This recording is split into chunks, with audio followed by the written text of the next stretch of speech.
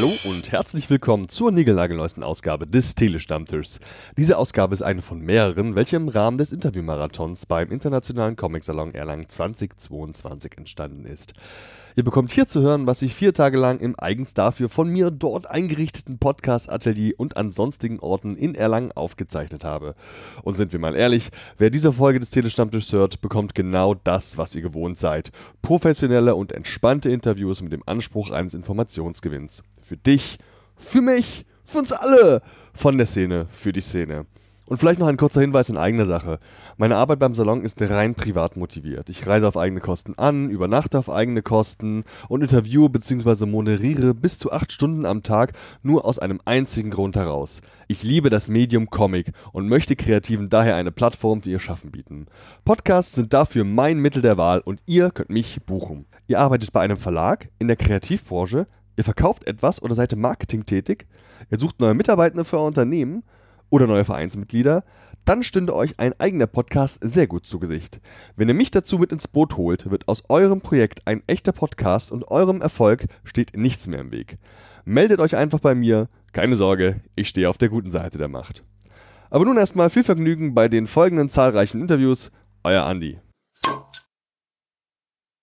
Der zweite Tag des Internationalen Comic-Salons Erlangen hat begonnen und wir sind mittendrin statt nur dabei. Die Sonne scheint schon jetzt und zum Glück haben wir uns verkrochen hier in unsere dunkle Höhle in das Podcast-Atelier. Wir haben Publikum und wir haben Gäste. Es wird ganz großartig. Ich freue mich auf einen tollen Tag, den ihr jetzt hier nachträglich auch beim Telestammtisch hören könnt. Und nun habe ich ja nicht irgendwen da. Nein, die sind natürlich wieder Comic-Künstler und sie sind hier auf der Messe und sie machen es auch nicht erst seit gestern. Sie sind die Masterminds hinter Projekten wie The Impure und ich freue mich mega, dass Sie da sind. Hallo, ich bin der Andi. Wer seid ihr? Ich bin der Hannes. Ich bin Ralf. Guten Tag. Mensch, wir sind beim Salon. Und bei euch weiß ich, dass ihr jetzt euer Blues, euer Veranstaltungscomic Blues, der dürfte nicht ganz so groß sein wie bei anderen, denn ihr habt ja schon mitgenommen, was so geht in den letzten Jahren, oder? Ähm, ja, auf jeden Fall. Also, ja, was ging in den letzten Jahren, ne? Also, ging, die, ja. die, paar Sachen, Ja, die ja. gingen. Ich glaube, Ralf noch ein bisschen mehr als ich, aber wir waren in Stuttgart, dann in Erfurt. Genau, und ich war noch in Bremen vor ein paar Wochen. Da Mhm. war auch so ein kleines, gemütliches Ding. Mhm. Das war erschreckend erfolgreich. Ein Tag ist ja schon rum. Wie lief denn der erste Tag für euch, Jungs? Ganz gut, also solide, würde ich sagen. Mhm. War äh, besser als sogar erwartet. Also, ich war ja schon ganz oft hier. Äh, was, ja, also seit, oh Gott, 2014 oder so. Ja. Äh, und davor war ich sogar schon mal äh, einfach nur als ein, eingeladen von einem Verlag. Und, ähm, und dann ab dann mit Stand später. Und äh, da war es immer so ein bisschen, ja, erster Tag war so ein bisschen mau immer. Aber äh, jetzt war es eigentlich ganz gut. Wahrscheinlich wegen Mhm. Feiertag. Denke ich mal. Und ihr seid hier auf dem Salon, um The Impure zu präsentieren, richtig? Genau. Also nicht nur, wir machen auch andere Also, Sachen. Richtig. Ja, Unter anderem. Ja. Also ihr seid ja mit eurem eigenen Stand hier, aber habt auch zum Beispiel Signierstunden, schätze ich, bei CrossCult oder ja. was? ja, haben wir jeden Tag anderthalb Stunden. Mega. Mhm. Wird angenommen, schätze ich auch, oder? Äh, ja, wir klauen von der Schlange Ja, unserer genau. Nachbarn Ja. immer die Leute dann, Genau. die stehen dann vor unseren Tischen. Dann- Sandoval hat für uns gezogen. Ja, ja, genau. Die standen alle Schlange Mhm. und äh, standen dann vor unserem Tisch und die haben dann bei uns so rüber geschnuppert und haben uns mit denen unterhalten. Und die Hälfte von Tony Sandoval Schlange haben wir dann mitgenommen. Genau. Sehr smart, so macht man das hier. Schön den Fame upgraben und die Leute vor allem auch. Ja, ja genau. Al- Also Crosscode hat sich ja gefreut. Ne? Ja, sicher. Haben- haben- Aber ähm, das Ding ist, wir sind halt ein kleines Ding. Ja, ja. Also Impure ist. Aber ein paar waren schon exklusiv für uns. ja, ja, Macht aber CrossCult eigentlich, machen die Messepreise hier? Kriegt der andere so günstig oder ist das der Verkaufspreis auf dem Cover? ganz weißt du das? normale Das ist der Preis, Coverpreis, weiß. ja. Nicht ich, ich bin mit für den Verkauf nicht zuständig, deshalb möchte ich meine Hand dafür nicht ins Feuer legen. Ja, ich, ich Also- glaube schon. Ich glaube, es sind normale Preise. Okay. Ja, Mensch, The Impure, Jungs, den Comic habe ich gefühlt vor, gefühlt vor fünf Jahren gelesen. So, weil es war Corona dazwischen, ich hatte irgendwie die PDF-Datei recht früh und so und habe das dann natürlich dann so gelesen und so. Jetzt ist er echt einige Zeit ins Land gezogen. The Pure ist kein Baby mehr, ist zumindest ein Kleinkind. Wie sieht's denn aus? Wie geht's denn weiter? Gibt's schon konkretere Pläne für den zweiten Teil? Wie ist denn der Produktionsprozess? Könnt ihr da was sagen? Übrigens, wer wissen möchte, was The Impure eigentlich ist, da möchte ich an der Stelle gerne mal erwähnen, dass es ein ausgiebiges Interview bei den Kollegen von den Comic Cookies gibt. Habe ich geführt, kann man sich anhören, findet ihr im Feed. Viel Erfolg. Wie sieht's aus Hm. mit Teil 2? Ja, Ich? äh, ja, mach du. Okay. Ähm, ja, also für uns fühlt es sich eigentlich noch wie ein frisch geborenes Baby an, weil Corona halt das ziemlich ausgebremst hat. Das Ding ist, wir hatten halt Impio sehr lange geplant. Impio war so ein Projekt, wo wir sehr viel Vorarbeit geleistet haben. Wir haben fast schon ein Jahr nur für Designs und, und für Worldbuilding ver verschwendet, also nicht verschwendet, aber verwendet, Ich, hab, würde ich äh, sagen. ich, ich meine, fast Ende 2017, glaube ich, ne, hattest du mich gefragt. Und Ja, dann haben ja. wir das über 2018, ging dann so langsam die Entwicklung los. oder Ja, so. und ähm, als es dann losging, hatten wir auch schon richtig Pläne. Wir hatten gesagt, hier ähm, 2020 machen wir neun Messen Minim Minimum. Wir hatten richtig fett auf Messen ausgelegt. Und dann kam halt Corona rein und die fertig gedruckten Bücher kamen auch rein. Aber wir hatten halt keine Plattform mehr, um das Ja. wirklich zu verkaufen, weil Von der- Impure, Von der Kickstarter-Kampagne. genau, Impure war von Anfang an ein Self-Publishing-Produkt, was wir auf Messen präsentieren wollten Mhm. und die waren weg. Und dann saßen wir da quasi erstmal mit, mit einer fetten Investition, die wir gemacht haben, weil wir haben klar über Kickstarter den Druck finanziert, aber unsere Arbeit hat niemand bezahlt. Wir haben da Vollzeit dran gesessen teilweise. Und wir haben auch andere Künstler voll bezahlt für die Arbeiten, die sie für die Kurzgeschichten zum Beispiel gemacht haben. Und fürs Lettering haben wir jemanden voll bezahlt. Also das haben wir alles aus also eigener Tasche bezahlt. Und ähm, dann war das mehr oder minder eine, eine, eine spontane Idee von mir, das an Verlage zu schicken, dass das Mhm. dann auch jemand annimmt. Das war eher überraschend, damit habe ich gar nicht mehr gerechnet. Ja. Ich habe irgendwann eine E-Mail in meinem Ordner gesehen, als ich das eigentlich schon abgehakt hatte. Und hat Crosscode mich angeschrieben, hat gesagt, nehmen wir. Und dann war das keine großartige Verhandlung mehr. Das war einfach nur noch die PDF. Es war einfach nur noch die PDF weiterleiten. Und dann kam halt weiter Corona und wir hatten halt nur einmal jetzt in, in Kassel, äh, nee, in, in, in Erfurt, in Mhm. Erfurt, wo, Ja, ja, dann, genau. wo Impure schon raus war und wir dann eine Präsenz hatten. Und da ist nicht viel PR-Möglichkeit da gewesen. Mhm. Hm. Und deswegen fühlt sich eigentlich Impure für uns noch relativ frisch an, auch wenn es schon Ja. so lange da ist. Ja, ja, ich, das Genau. fühlt sich an, als wäre es gerade erst so richtig erschienen. Irgendwie. Genau, und ähm, das hat das Ganze extrem verlangsamt. Und was die Zukunft angeht, wir sitzen schon am Band 3, äh, Band 2. Mhm. Ähm, das Skript ist schon zur Hälfte mindestens fertig. Hannes hat schon quasi, Mit den Storyboards. genau, Ja, sehr gut. genau. Ähm, der Plan ist, dass wir das dieses Jahr noch fertig gezeichnet bekommen und auch schon die Koloration anfangen.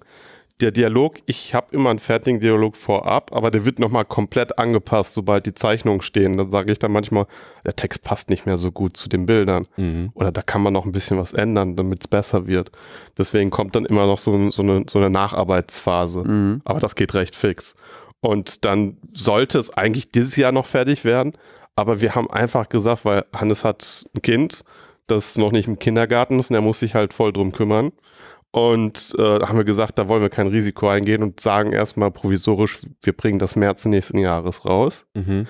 Gleichzeitig arbeite ich sogar schon an einem dritten Buch, was aber nicht Teil der Hauptreihe wird, sondern von einem Gastautorin geschrieben wird und quasi eine Nebengeschichte erzählt Mhm. und was ich dann komplett zeichnen werde. Das heißt, während Hannes dann jetzt mit Band 2 anfängt, Ja. arbeite ich schon an einem Nebenbuch, was dann quasi schneller rauskommt, während wir dann auf den nächsten Mhm. Teil der Hauptreihe warten. Verstehe, ja. Ist ein smartes Konzept. Jeff Liemer, Jeff Liemer macht das mit, ähm, wie heißt das, äh, Superhelden-Ding? Black Hammer. Macht da, das ist komplett sein Grundkonzept, das so aufzubauen, wie du. Du hast da die schlauen besten Vorbilder genommen.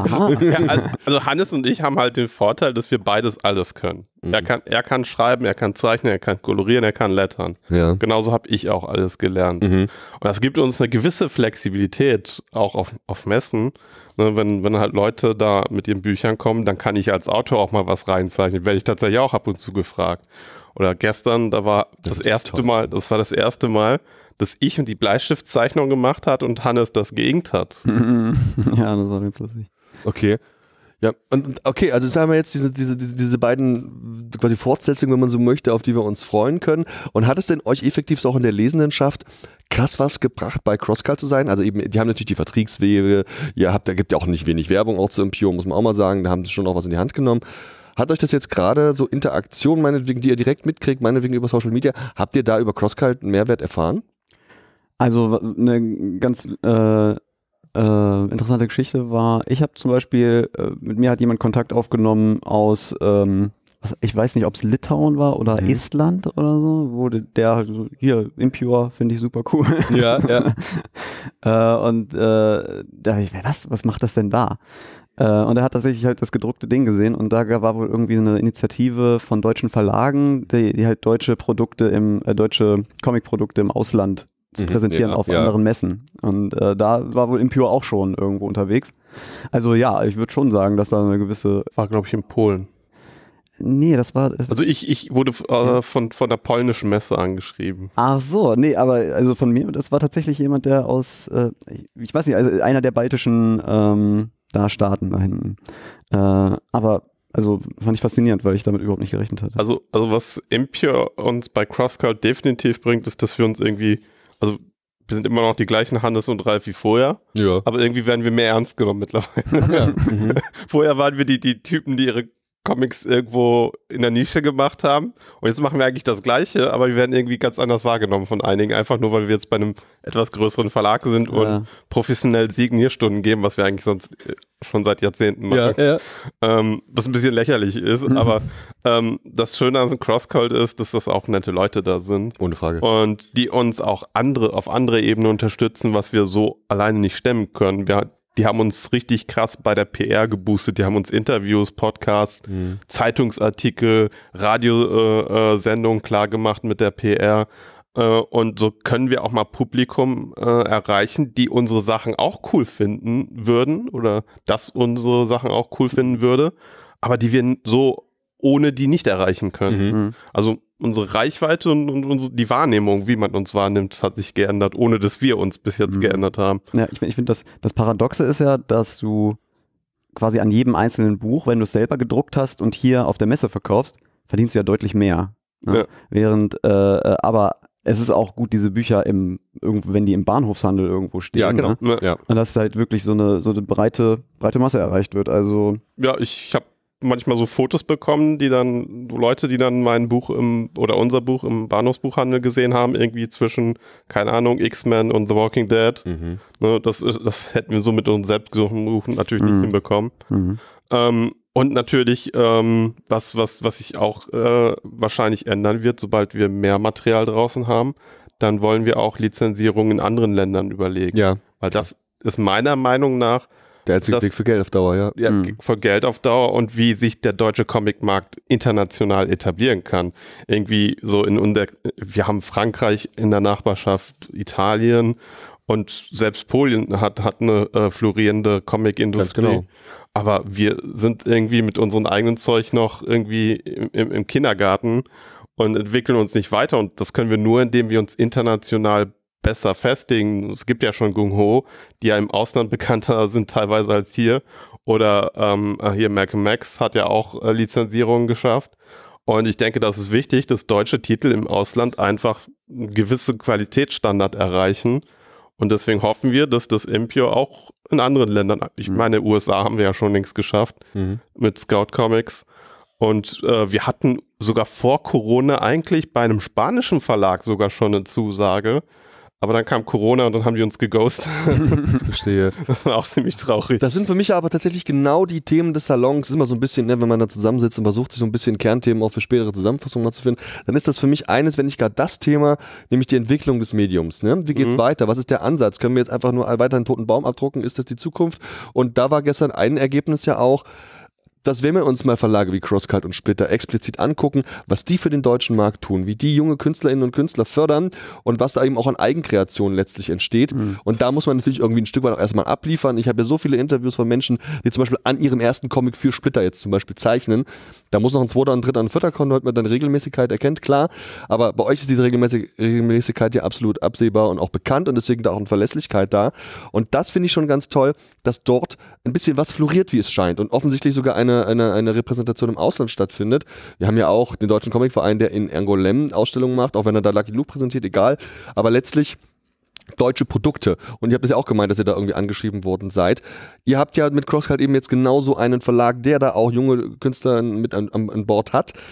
Wie findet ihr das? Findet ihr das gut? Ist das der Weg, den wir gehen, dass wir hier mehr so diese, ja auch den deutschen Comic quasi da fördern und gern auch junge Leute? Mir fällt zum Beispiel auch auf, dass es so oft so junge Leute sind. Leute, die vielleicht auch andere Honorarvorstellungen haben, als es ältere Leute vielleicht haben, die ein Haus abzahlen müssen zum Beispiel. Das sind so Gedankengänge, die ich da habe. Was sind eure Meinungen dazu? Ähm, Ja, also das ist auf jeden Fall ein interessantes Thema. Ich habe da so ein paar, ich sag mal, ich habe da natürlich keine festen Daten oder sowas, aber ich habe so, so Eindrücke. Ich habe den Eindruck zum Beispiel, dass ähm, Deutschland, die deutschen Verlage scheinen relativ eine bestimmte Sparte relativ gut abzudecken. Also wenn du zum Beispiel mal ähm, überlegst, äh, so Künstlerbiografien zum Beispiel, ne, diese klassischen so, so, äh, keine Ahnung, Nick Cave von Reinhard Kleist oder sowas, ne, ähm, was dann eben eine bestimmte Sparte bedient, so von, von einzelnen Autoren erschaffen, ne, so als so eine Art, also als wie, wie ein Roman, ne, wie eine Graphic Novel produziert.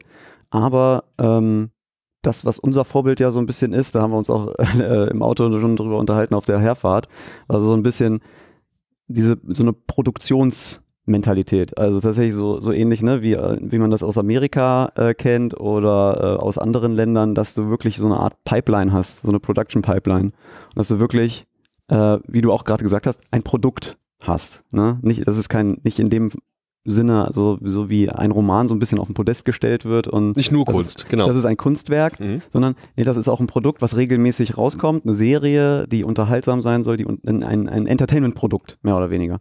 Und ähm, das auch eine, eine breitere Masse vielleicht auch an, anspielt oder so.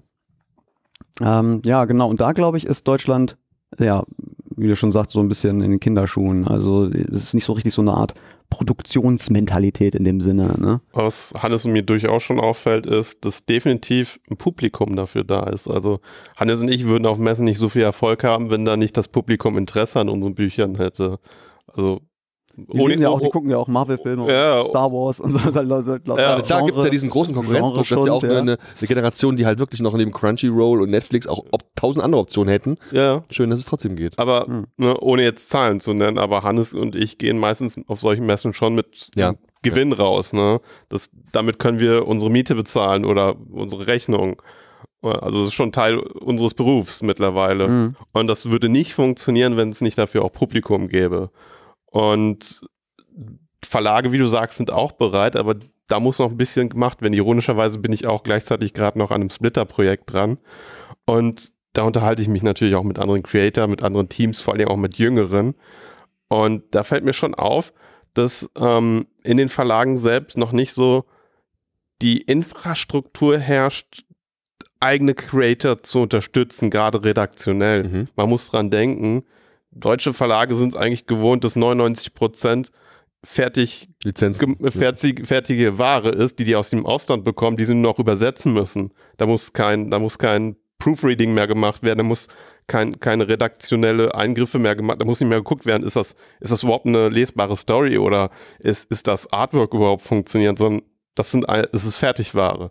Und dementsprechend sind die Verlage, das sehe ich sowohl bei Crosscut als auch bei Splitter, als auch bei jedem anderen größeren deutschen Verlag, der eigene Produktion rausbringt. Da- Das ist jetzt also nicht nur bei den Verlagen, sondern überall so. Ähm, dass da so ein bisschen die redaktionelle Kapazitäten fehlen, kompetent Künstler wie halt Hannes und mich zu unterstützen. Hannes und ich haben halt die Erfahrung, dass wir das ohne können. Aber ich habe auch jetzt bei anderen Verlagen junge Künstler gesehen, die Titel rausbringen und ähm, zwar das erste Buch mit Biegen und Brechen geschafft haben, aber denen fehlt so ein bisschen der redaktionelle Support für, für, für um da eine richtige Pipeline hinzubekommen. Ne, So ein Mentoring scheinbar Ja. irgendwie auch, ne? äh, man- Es gibt ja den Editor, ne? also Mhm. ein gutes Beispiel ist Dragon Ball. Äh, der Akira Toriyama, der hat, äh, hätte ohne seinen Editor, der ihm da Feedback gegeben hat, nie so viel Erfolg gehabt. Mhm. Ja? Und ein guter Editor, der, der macht nicht nur hier äh, ähm, Rechtschreibfehlerkorrektur, der mit dem wird Story besprochen, mit dem wird äh, Pacing besprochen, Character Arcs. Ne? Da, da fehlen die Kompetenzen hier in Im Deutschland. Zweifel halt auch eigentlich ein wichtiger Teil des Kreativ, der Kreativarbeit auch. Ja, ja. Ne, dieses, dieses Feedback. Und ähm, es gibt wenige Redakteure in Deutschland, die können das, aber das fehlt halt über die Verlage hinweg. Und das Mhm. ist was, das muss ich noch entwickeln. Das ist die ganze, die ganze Produktionsinfrastruktur, Ja, die man ja. bräuchte, um so ein Indus auf industrieller Ebene Äh, also ich äh, habe jetzt, sowas zu ich produzieren. habe jetzt dieses Jahr bei drei Kollegen und Kolleginnen tatsächlich dieses äh, Editing gemacht. Da habe Mhm. ich anderen Bücher durchgeguckt oder die, die PDFs und habe gesagt, hier, da musst du Sprechblasen verschieben, das funktioniert so nicht, da musst du hier das, den Text nochmal schreiben oder halt das, das, das, der iFlow funktioniert nicht oder das funktioniert nicht. Ähm, das brauchen wir auch manchmal und deswegen holen wir für unsere Sachen, für Impio auch immer einen Editor dazu. Wir hatten ja auch für, ich hatte für Zinnober schon einen Editor, ich hatte, wir hatten für Impio uns einen Editor geholt, das war einer aus den USA, der halt seit äh, äh, Jahrzehnten auch schon Editing macht und äh, das wird auch gebraucht, wenn man schon erfahren ist. Mhm. Weißt du, wo, was, woran mich das gerade erinnert, äh, wie man da auch drüber nachdenken kann? Ähm, ne, wenn du einmal einerseits hast du die, dieses Romanartige, wo, wo ein Autor das macht und dann wird das rausgebracht vom Verlag. Äh, oder du hast die krasse Produktionspipeline wie jetzt Marvel oder so, ne, wo wirklich arbeitsteilig alles auf, äh, gemacht wird. Und ich glaube, wir sind in so diesem Mittelding fast wie so eine Art Band, könnte ja, das vorstellen, ja. ne? wie so eine Band, die eine, eine kleine Band, die das äh, aufbaut und dann halt irgendwann zum Publisher geht mit ihrem Stil, ihren Produkten, ihren, äh, äh, ihren Talenten und dann da noch irgendwie so ein bisschen Aufwind kriegen. So ja. fühlt sich das irgendwie an. Ja, und selbst da wird ein Manager gebraucht, der Betreuung macht. Auch genau. emotionale Betreuung teilweise. das glaube ich gar nicht so wild. also, äh, also das, das ist so was sich noch entwickeln muss, damit es funktioniert. Vernünftiges ja, Editing, ja, also Fall. redaktionelle Qualität oder Kompetenzen müssen. Auch das, glaube ich, ein sehr wichtiges großes Thema, das wir vielleicht nochmal an anderer Stelle auch sehr viel ausgiebiger besprechen müssen, denn Jungs, die 20 Minuten sind bereits rum. Oh, so schnell kann es gehen. Ich wünsche euch vor allem noch richtig viel Spaß und im besten Fall sogar noch jede Menge Erfolg hier beim Comic Salon Erlangen. Danke, dass ihr da wart. Bis zum nächsten Mal. Ciao. Ja. Jo. Tschüss. Danke dir. Das zweite Gespräch des heutigen Tages widmet sich einer jungen Frau, die sich proaktiv bei mir gemeldet hat. Sie hat mich, glaube ich, via E-Mail angeschrieben, hat eine Menge Dinge dabei, die sie zeigen möchte. Ich freue mich total, dass sie heute da ist. Wir lernen uns erstmalig kennen, mal gucken, was passiert. Hallo, ich bin der Andi und wer bist du? Hallo, mein Name ist Nina, ich komme aus Österreich. Mhm. Eigentlich aus Oberösterreich, aber in Wien hängen geblieben ja. und da schon seit, ja. Länger. Länger.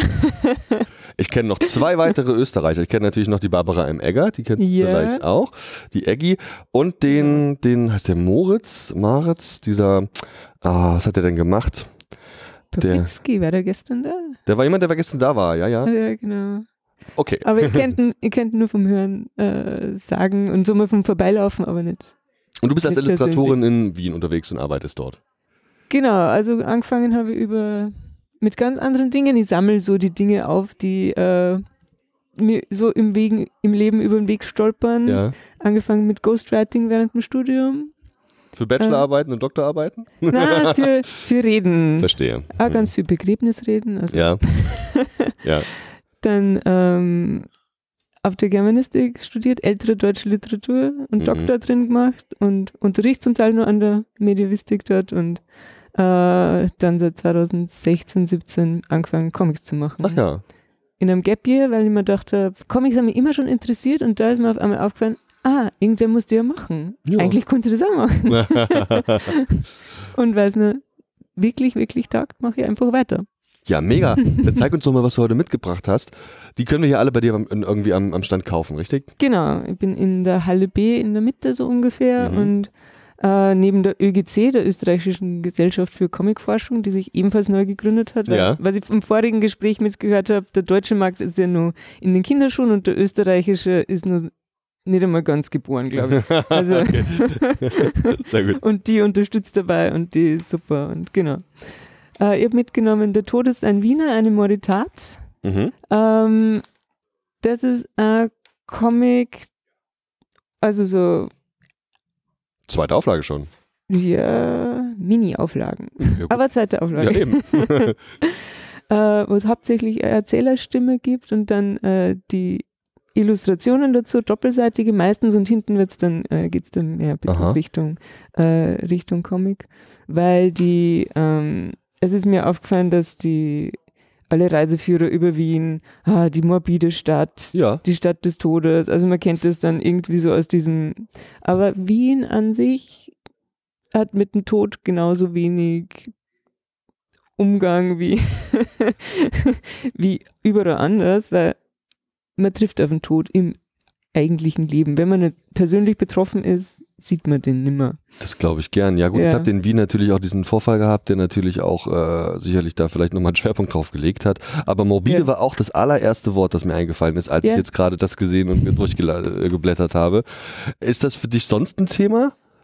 Ja, übers Reden, also ich mache zum Teil nur Reden schreiben und da über Trauer reden, äh, mhm. ist das dann, kommt es da vielleicht nur Ebene rein, dass ich dann ein bisschen einen anderen Blick vielleicht drauf habe als äh, andere und habe dann vielleicht nur so ein mhm. bisschen mehr damit zum tun. Jetzt hier mit ähm, Der Tod ist ein Wiener, eine Moritat. Erzählst du deine Geschichte oder ist es eigentlich mehr so Gedankengänge und Themen, die du begleitend illustrierst? Wie würdest du es einschätzen? Es ist genauso ein bisschen der, äh, dieses Thema, dass der Tod so von was äh, die Tourismusindustrie so angeht, äh, als sehr präsent zeichnet in Wien. Also mhm. das ist so der Anfang. Ja. Und dann am Schluss aber so ein bisschen der Bruch, hm, eigentlich ist es auch nicht mehr wirklich so okay. der Schwerpunkt und eigentlich ist Wiener. Das heißt, das hier sollte ich in jedem Tourismuscenter Wiens kaufen können eigentlich, ne? Ich habe mir überlegt, ich überlege gerade, ob es ob es den Bestattungs äh, oder Bestattung Wien mal schicke, ob sie das interessiert, weil das, mhm. äh, die Bestattung Wien hat einen ganz, äh, hat einen guten Humor bei uns. Okay, sehr schön. also das ist schon da. Die haben auch ihren eigenen, äh, ihren eigenen Instagram-Kanal und eine eigene Produktlinie mit diverse morbide, also auf der Seite ist es dann schon wieder da, diverse morbide äh, kleine Produktlinien. Ich sehe auf jeden Fall in Zielgruppen auch äh, diese ganze Gothic-Schiene, die steckt natürlich drin, aufgrund des Themas ja letztlich auch. Es geht ja scheinbar auch um Abschied und wie du den dann hier eben auch darstellst in verschiedenen sehr eindrücklichen Illustrationen, also das ist ganz toll. Ich glaube, also das, das müssten sie dir eigentlich aus der Hand reißen. ich werde mir noch fragen gehen. Das ist eine gute Idee, ja. Super. Dann schauen wir uns nächste Heft. Ähm, das nächste ist jetzt, äh, habe letztes Jahr. Der Inktober. Der Inktober zusammengestellt. Mhm. Genau, Inktober ist, glaube ich, bekannt. In, also in der Szene kennen es viele Leute, dass äh, der Jeff Parker, hast du, glaube ich, ähm, den Inktober gegründet hat, damit man eher, damit er äh, sich selber dazu anhält, ja, weiter ja. mit Tinte zu arbeiten und das ist ziemlich groß war und ich, ich freue mich immer, wenn ich die Zeit habe, dass ich mitmachen kann und mache es mit einem eigenen kleinen Twist, also immer ein Panel-Comics quasi zu jedem Schlagwort mache mit zwei Figuren von mir ähm, und die witzigsten, also die, wie ich finde, witzigsten und schönsten habe ich irgendwie zusammengestellt dann letztes Jahr nur und rausgesucht und das ist das neue kleine, kleine Heft auf Englisch, weil der doch sehr international ist, mhm. der Inktober und deswegen das heißt, wir konnten das, auch wirklich dann komplett äh, wo, auf Instagram oder wo konnten wir das finden? Genau, mhm. da ist dann alles nur drauf. Auch richtig dickes Ding, ja gut, klar, so ein 30 Tage oder 31 hat er, hat er dann schon, ja, der Oktober, ne? Ja, und das ist zusammengestellt aus, ich glaube, dreimal habe ich mitgemacht und mhm. da habe ich halt die besten, weiß nicht, 50, ah. 56 irgendwie dann raus. Woran orientierst du dich in deiner Figur? Das ist so eine Mischung aus einem Batman, irgendwie was mit dem Schädel, was ist das denn? Das angefangen hat so ein bisschen mit ähm, Aquarius mit Wassermann ja. und so äh, bisschen so Kiemenfischohren. Ja. Ähm, und schlussendlich sind diese Art von Ohren, manche sagen, es sind vielleicht Hörner äh, so draus mhm. worden. Ähm, aber mittlerweile ist mir die Figur sehr ans Herz gewachsen und genau, die, die kommt öfter mal. Ach doch, die ist wirklich auch mega sympathisch. In verschiedenen Alltagssituationen sehen wir sie hier und das ist eine, ja, cartoonesk letztlich ja irgendwie auch. Aber, aber, aber, aber cool. also ich kann das gar nicht anders sagen. Toll. Und ich mag dieses Schwarz-Weiß. Das ist eben das ist der Thema, Tod ne? ja. mhm. Also der Tod ist ein Wiener eher schon und mit Farbe tut man manchmal einfach nur ein bisschen schwer, ja. weil es einfach zu viel gibt. da finde ich die Auswahl sehr. Aber du hast auch äh, äh, kolorierte Dinge.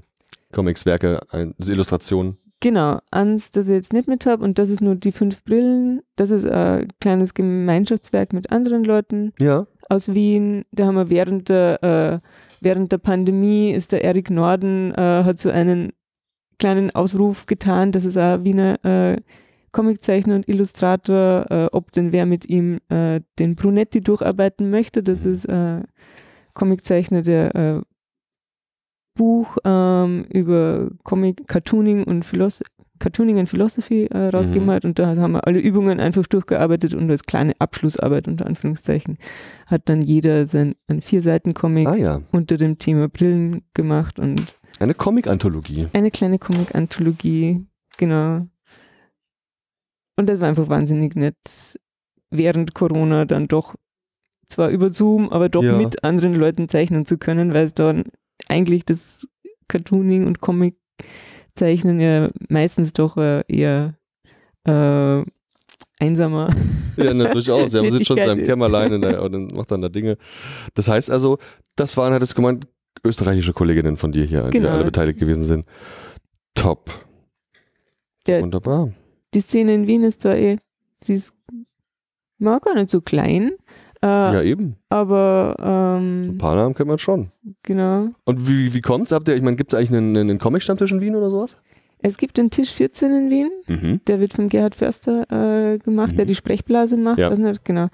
Ähm, der Nikolaus Mahler und so ist, glaube ich, dabei. Mhm. Äh, der André Breinbauer, ähm, der jetzt neu sein Medusa. Äh, Medusa und ich gestern im Gespräch. Ja. genau äh, gemacht hat. Ähm, der, die sind alle eigentlich sehr nett und sehr Und da bist du dann auch immer mal anzutreffen. Ja, ich war da zwei, drei Mal, dann ist irgendwie Corona gekommen Ja. und jetzt muss es erst wieder. Das ist neu. Ja, aber das sind Genau. gerade, wie du hattest jetzt ja diverse Namen genannt und die sind für, sag ich mal, deutschsprachige Verhältnisse ja auch erfolgreich, ja. haben tolle Produktion.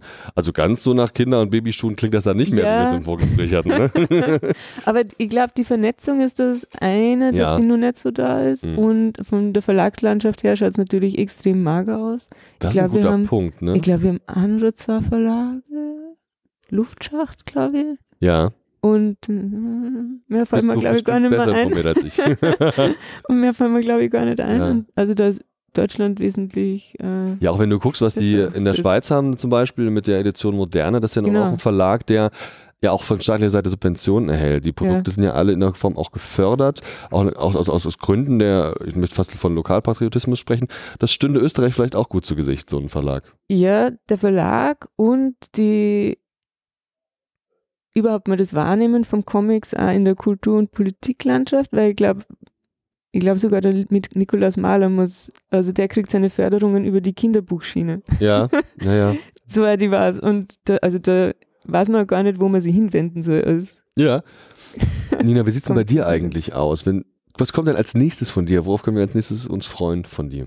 ähm, ich würde gerne jetzt als nächstes Projekt ähm, Fabeln mir ein bisschen Mhm. anschauen, aber mehr so als sehr reduziert auf zwei Seiten. Ja. und dann schauen, ähm, Fabeln sind ja aus allen Kulturen immer sehr, äh, oder über die Zeit hat jedes Jahrhundert so seine eigenen Zuschreibung und Moral hineingelesen. Und ich würde es gern ganz ohne machen und deswegen auch zwar mit Sprechblasen, aber mit leere Sprechblasen, weil das dann äh, Ein Silent-Comic habe ich gestern gelernt, sagt man zu sowas. Also ohne, Silent ohne Comic. Sprache quasi, ne? ohne Sprache, aber trotzdem mit Oh- ohne Sprechblasen. Text zumindest, Genau, ohne Mhm. Text. Mhm. Ähm, einfach um, wenn man die Geschichte kennt, man versteht sie Ja. oder man soll sie ja so verstehen, aber ähm, wem man jetzt Bösartigkeit oder gut oder was er immer dann unterstellt, das soll dann, Tolles Konzept. genau, das sind dann die Muss man auch nicht übersetzen. Leserinnen und super. Nur Pluspunkt. ja, wunderbar. Genau. Ja, Mensch, klasse. Unser Gespräch ist leider auch schon vorbei. Vielen, vielen Dank, dass du heute da warst und über dich und deine Arbeit gesprochen hast. Da Danke waren ganz viele tolle. Sachen dabei und ich äh, hoffe, wir sehen uns auf jeden Fall nochmal hier. Ich renne nochmal durch die Hallen. Ich wünsche dir viel Spaß und auch jede Menge Erfolg hier beim Salon. Dankeschön. Danke dir. Tschüss. Ciao. Das dritte Gespräch des heutigen Tages widmet sich Personen, die was sind, was ich gern mal auch als Wortneuschöpfung benutze, nämlich Comicbotschafter. Wir alle, wie wir sind, haben irgendwas mit Comics zu tun. Viele meiner Gäste sind Artists und kreieren auf illustrative Art und Weise ja eben auch Illustrationen oder eben auch Comics, machen so in die Richtung was. Und es gibt durchaus auch eine Menge Personen hier auf dem Comic-Salon in Erlangen, die noch so wirklich eine ganze Handvoll Schritte weitergehen und deutlich mehr machen als nur, sage ich mal, dieses Alltägliche. Und die beiden Herren, die ich jetzt hier habe und insbesondere einer davon, den ich jetzt etwas besser einschätzen kann, der ist ein ganz klassischer Comicbotschafter, der tausend Projekte nebenbei macht, mega vernetzwerkt ist, alles und jeden kennt, ständig von irgendwem positiv besprochen wird, keine Ahnung. Ich, ich, bin, ich bin hin und weg, dass er heute da ist. Ich freue mich wirklich sehr, aber ich glaube, die 20 Minuten, die wir jetzt haben, die sind viel zu knapp. Hallo, ich bin der Andi und wer seid ihr? Äh, Ich bin Ralf Matzenzig. Mhm. Und ich bin der Jan Thüring. Hi. Am Mittwochabend bin ich ein bisschen vorgekommen, habe mir gedacht, ich esse mal eine Bratwurst oder so, weil da ja nämlich dieses super krasse Comic-Grillen ist, das irgendwie so eine Art Tradition zu sein scheint inzwischen. Ich kannte das alles noch nicht. Und Tradition von was eigentlich? Nämlich vom Comic-Seminar. Einer, wenn nicht gar der Institution für deutschsprachige, soweit ich weiß, Comic-Artists, die sich da teilweise mehrere Jahre in Folge mit Projekten auseinandersetzen und auch miteinander netzwerken, auch unter Anleitung von tollen Dozenten Dinge machen. Und ich glaube, ihr seid da so ein bisschen mit beschäftigt, ne? Das ist richtig. Ähm, das Comic-Seminar hatte jetzt sein 36-jähriges Bestehen. Ja. Ähm, wurde begründet und äh, über Jahrzehnte organisiert und gepflegt von Paul de Rouet. Und als Paul vor drei Jahren dann ankündigte, in Ruhestand gehen zu wollen, äh, gab man mir die Gelegenheit, die Organisation zu übernehmen, was wie ich finde, ein großes, großes äh, Privileg ist und, und auch mit ja, gehöriger Sorgfalt mhm. durchgeführt werden muss. Das ist wie so ein ganz, ganz toll gepflegter Garten, in mhm. dem man ganz vorsichtig agiert, möglichst, möglichst wenig pflanzenstrubbelig macht. Äh, aber die Gelegenheit hat natürlich äh, die, die Leute, die sich wirklich im Bereich Comic in Deutschland engagieren, äh, dann auch tatsächlich umfassend über eine Woche lang ähm, in einen Raum zu bekommen. Äh, das muss man sich so ein bisschen wie Comic-Kloster vorstellen, aber da mhm. können wir gleich nochmal drüber reden. Ähm, und dann mit äh, zwei bis drei gestandenen Profis zusammenzuführen, die halt auch schon über teilweise Jahrzehnte ähm, im Feld arbeiten. Und der Jan, der heute neben mir sitzt, äh, ist auch einer unserer langjährigen Teilnehmer, die mhm. du angesprochen hast. Viele Projekte werden über mehrere Jahre ähm, tatsächlich konzipiert, ja. ausgearbeitet und dann irgendwann mal bis zur Druckreife gebracht. Also wir haben alleine dieses Jahr, ich glaube, fünf oder sechs äh, Bücher, die hier im, im, äh, auf dem Salon zu finden sind, die entweder im ja. Seminar entstanden sind oder eben ähm, im Seminar dann noch tatsächlich fertig wurden. Was ist denn konkret die Zielsetzung des Seminars? Geht es um sich kennenlernen? Geht es um am konkreten Werk arbeiten, am individuellen meinetwegen handwerklichen Vorankommen? Gibt es so eine Art konkrete Zielsetzung des Comic-Seminars? Ähm, ich, ich, glaube, die konkrete Zielsetzung ist tatsächlich die Förderung der deutschen Comic-Kultur mhm. und beinhaltet tatsächlich alle Punkte, die du angesprochen hattest. Das heißt, ähm, natürlich ist es technische Hilfe, Hilfe im Erzählerischen. Ähm, oft ist es aber so, dass die Leute, die bei uns als Teilnehmer sitzen, ohnehin schon publizierte Autoren sind. Also es ist kein rein, reiner Anfängerkurs, wo man denkt, so, ich erkläre dir jetzt, wie man einen Comic macht und das ist eine Sprechblase und so, ähm, sondern dadurch, dass die Dozenten die wir dann für das jeweilige Jahr haben, die Auswahl treffen, merkt man, das passt in deren Sensibilitäten. Und mhm. ähm, da ist das Niveau wahnsinnig hoch, jetzt schon. Äh, also wir wollen niemanden abhalten, sich da zu bewerben. Ähm, aber es ist tatsächlich kein reiner Anfängerkurs. Ähm, und das Spannende ist tatsächlich, du lebst und arbeitest zusammen. Also es startet morgens um halb neun und geht ja. dann auch gerne mal bis nachts um zwei. Mhm.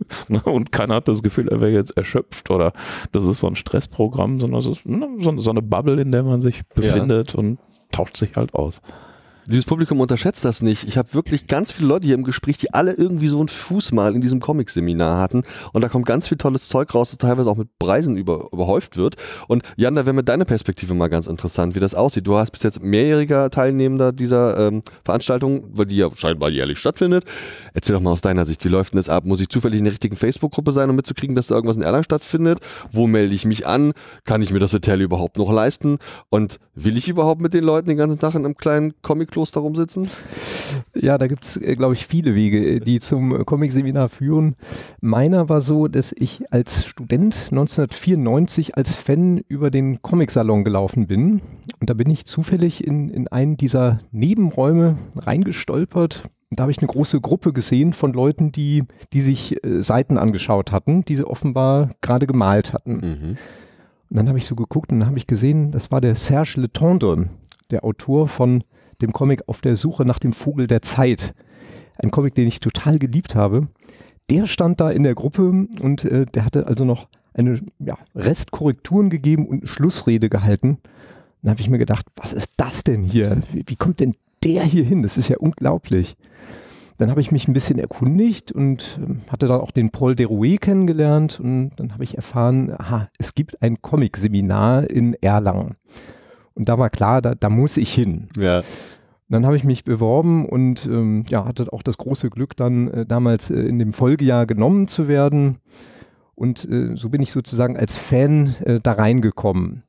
Ähm, heutzutage gibt es wahrscheinlich viele Wege äh, über Facebook. Ich glaube, es gibt auch eine äh, Seite. Äh, also es Ralf, gibt eine ja? sehr, sehr, große Seite, also comicseminar.de. Mhm.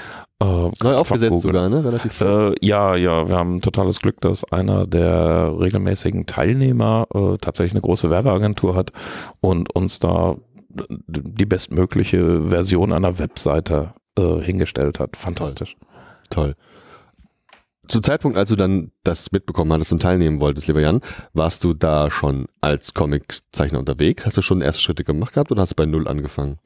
Ich war ein, ein, ein Amateurzeichner, könnte man mhm. sagen. Äh, die Liebe zum Zeichnen war schon da, die Liebe zu Comics war schon da. Und dann hat sich das tatsächlich durch das Seminar auch so rauskristallisiert, dass das so, so mein Ding irgendwie. Mhm. Und äh, ja, es waren, waren noch andere Zeiten. Der, der Comic hatte noch einen anderen Status da, kann man sagen. Das Internet war noch nicht da und dann ja, ja. noch nicht so stark da in, mhm. in den Jahren danach.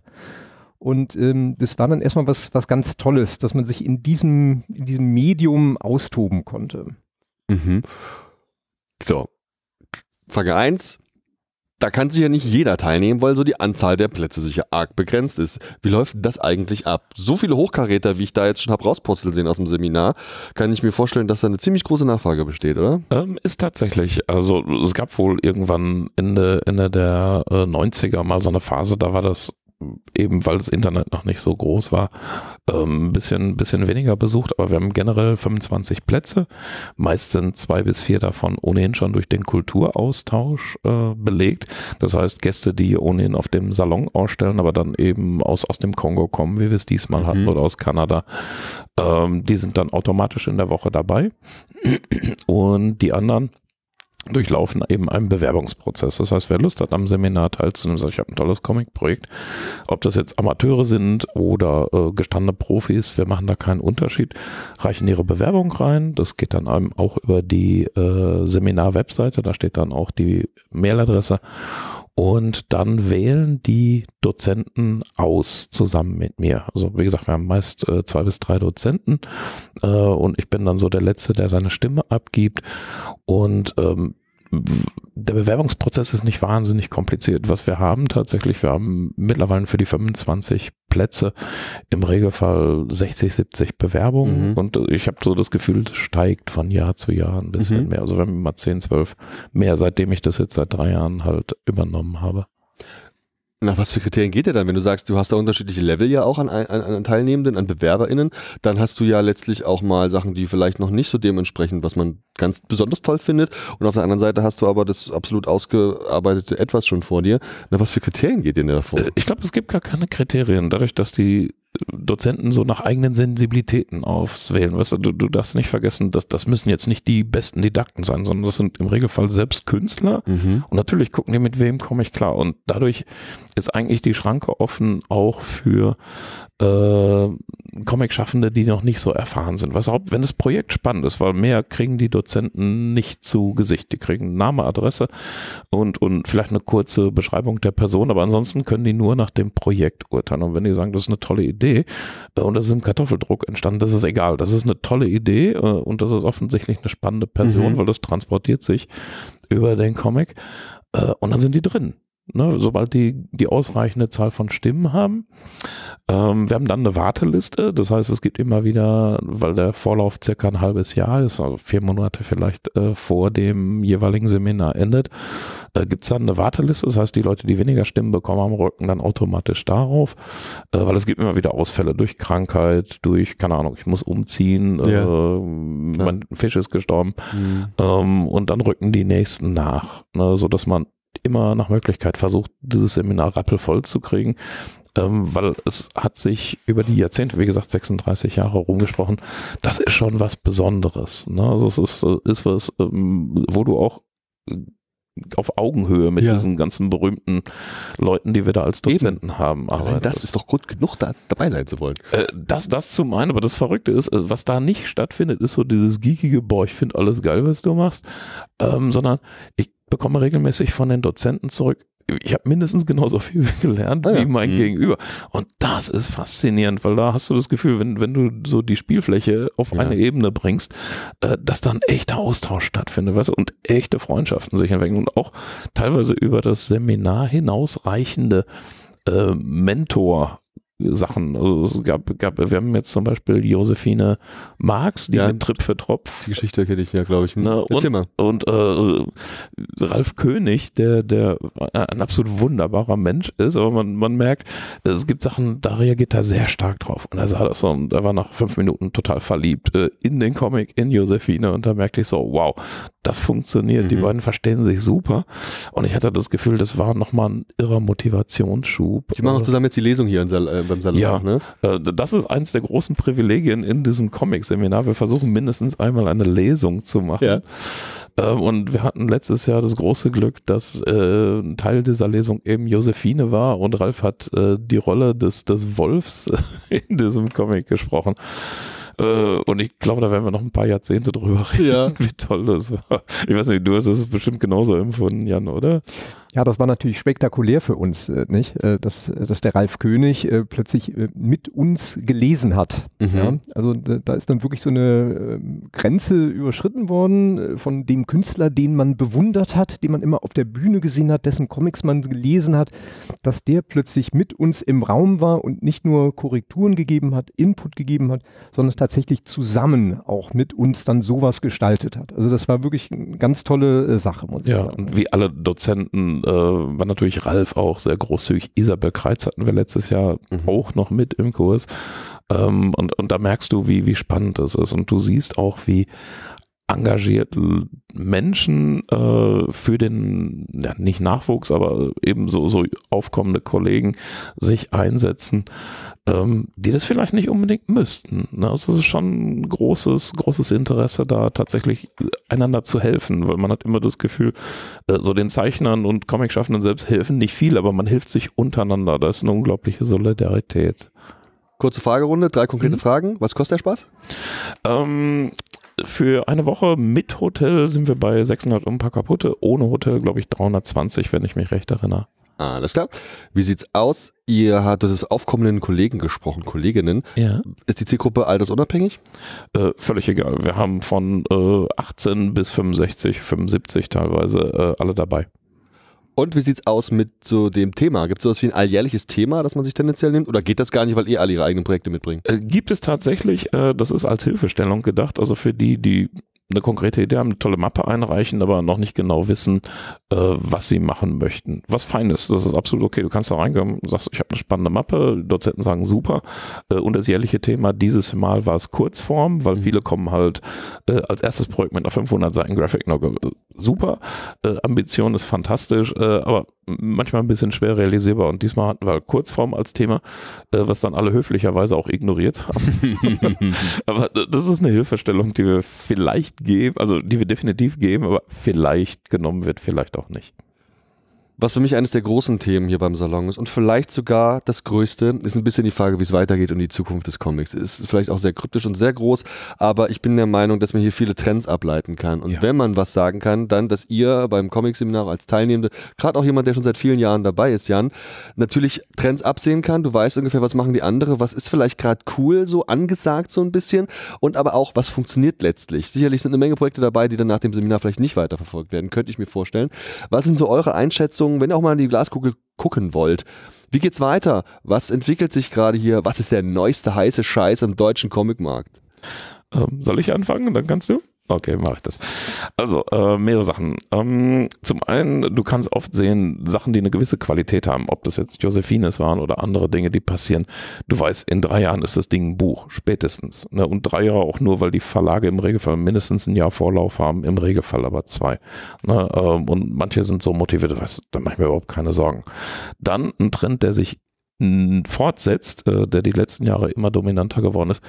Ähm, wir haben mehr und mehr Frauen. Wir haben mittlerweile äh, im Seminar zwei bis drei Viertel Anteil an Frauen, also weniger, weniger Herren, äh, die sich bewerben und mit Projekten bei uns auftauchen. Das, das sieht man aber auch an den Neuerscheinungen. Also ich gucke mir an, was gibt es dieses Jahr neu äh, von deutschen Verlagen mit äh, deutschsprachigen Zeichnern und Autoren. Und dann denke ich so, ja klar, das meiste davon sind Frauen. Mhm. Also wir fragen uns natürlich, woran liegt es? Ähm, sind die Jungs Jungs alle zu den Games abgehuscht und filmen, äh, die die zeichnen und erzählen können, äh, oder haben Frauen einfach mehr zu erzählen? Das ist eine Frage, die lohnt sich tatsächlich mal nachzuforschen. Ist ja einfach deutlich diverser. Was sind so deine, deine Eindrücke? Ja, ein, ein großer Trend ist natürlich das Internet. Äh, also ich habe gemerkt, dass die Zeichner sich tatsächlich äh, sehr unabhängig von den Verlagen gemacht haben. Also das war früher ganz anders. Äh, da war das dann wirklich der heilige Gral, dass man eine Veröffentlichung bei einem Verlag bekommen hat. Ja. Und heutzutage muss das gar nicht mehr sein. Denn man kann sich selber eine Website gestalten, einen Blog machen und seine Seiten, seine Strips, Cartoons da draufstellen. Natürlich und äh, die werden dann teilweise auch von viel mehr Leuten gelesen, als äh, eine Auflage bei einem Verlag hat. Und äh, das wurde erkannt und äh, da hatten wir tatsächlich auch Leute im Seminar, äh, die dann auch gesagt haben, ich muss gar nicht zum Verlag gehen, weil Ohne ich finde das viel spannender, wenn ich machen kann, wann ich will, wie ich will, liefern kann, äh, wie das irgendwie so mein Ding ist, ohne irgendwelche Einschränkungen zu haben. Und das ist, glaube ich, ein großer Trend für die Zukunft. Da sind wir auch noch nicht am Ende der Entwicklung. Da gibt es ganz tolle Geschichten. Allein über das Thema könnten wir jetzt hier stundenlang reden, glaube ich. Wahr. Frage ist, ob das finanzielle Erfolgskonzepte sind oder nicht, oder ob es da mehr um die Kunst geht. Das ist vielleicht auch nicht ganz von der Hand zu weisen. Sind die Leute, die zu euch kommen, denn auch tendenziell, sind das ist eher so die die KünstlerInnen oder sind das eher so die Leute, die halt mal den, die schnelle Markt mit dem Comic machen wollen? Nee, es sind tatsächlich Leute mit vielen Ambitionen. Auch mhm. das, das zeigt sich schon in der Bewerbung. Weißt du, du guckst ja an die Projekte, was, was will der oder diejenige erzählen. Und dann denkst du, alles klar, die, die haben wirklich was zu sagen. Äh, ich meine, mit Comics Kohle machen in Deutschland machen wir uns nichts vor ist ein bisschen schwierig. da musst du schon wirklich woanders hingehen und du musst andere Ambitionen haben. Ja. Also du musst dich dann auf, auf bestehende Intellectual Properties werfen, äh, Superhelden machen und so. Gibt es natürlich auch Kollegen, die das schaffen, ähm, aber hierzulande, ich glaube, die haben relativ realistische Einschätzungen, was geht äh, und machen es trotzdem. Und das ist faszinierend. Lieber Ralf, lieber Jan, vielen, vielen, vielen Dank für eure Zeit, dass ihr heute da gewesen seid, mit uns ein bisschen über das Seminar zu sprechen. Eine wirklich eine Institution des deutschen Comic. Anders kann man es gar nicht sagen. Vielen Dank, dass ihr da wart und vor allem noch viel Spaß beim Salon. Danke, ciao. Ja, vielen Dank. Ciao. Vielen Dank für die Einladung. Das nächste Gespräch widmet sich der Arbeit einer Dame, die immer meinen Twitter-Quatsch liked. Das ist ja selbst schuld, habe ich mir gedacht. Und dann hat die mich auch noch angeschrieben, wollte hier beim großen Interviewmarathon des Telestammtisch beim Comic-Salon Erlangen mit dabei sein. Sie ist vor allem mir als Comic-Übersetzerin aufgefallen und als Comic-Forscherin. Ich bin total gespannt, wo die Reise hingeht, weil zum Beispiel auch der Andy Preller sie kennt und mag. Und ich meine, das ist ja wirklich ein Qualitätsprädikat, das man mal haben kann. Hallo, ich bin der Andy und wer bist du? Guten Morgen, ich bin Verena Maser. Ich bin Manga-Übersetzerin, hauptsächlich. Manga-Übersetzerin. Das ist ja wahrscheinlich so mit der gefragteste Job, den es gerade in der Comicbranche gibt, oder? Ähm, wenn man auf die Zahlen guckt, glaube ich, ja. Also wir hatten ja letztes Jahr einen Zuwachs von 75 Prozent auf dem mhm. Manga-Markt. Das ist ja schon so wow. Ähm, und ich glaube, wir hatten letztes Jahr, was war es, 1500 neue Bände, die rausgekommen sind. Wahnsinn. Das ist ja, ja. Ich, zwischendurch frage ich mich auch immer, wer übersetzt das eigentlich alles? Also, weil ich kenne natürlich jede Menge Manga-ÜbersetzerInnen, ähm, aber immer noch nicht genug, ähm, wo ich mir denke, okay, also wir, wir, selbst die Leute, die ich kenne, wenn die alle zusammen, wenn jeder von uns fünf Bände im Monat machen würde, kämen wir immer noch nicht auf diese Zahl. Also da muss es irgendwo da draußen eine unbekannte Bubble an, ja. an Übersetzenden geben, die ich nicht kenne. Ähm, wenn ihr also zufällig zuhören solltet und sagt so, hey, ich bin eine oder einer von denen, ähm, dann schreibt mir bitte eine E-Mail. Steht ihr nicht im Impressum drin? Ähm, doch, aber die wenigsten haben irgendwie eine eigene Webseite, stehen auch nicht alle bei LinkedIn oder Xing ähm, mhm. und also es ist teilweise relativ schwierig, da dran zu kommen an die Kontakte und ähm, ähm, gut, bei manchen, die kontaktiert man dann und die melden sich nicht zurück, weil irgendwie, keine Ahnung, mache ich ihnen Angst oder so.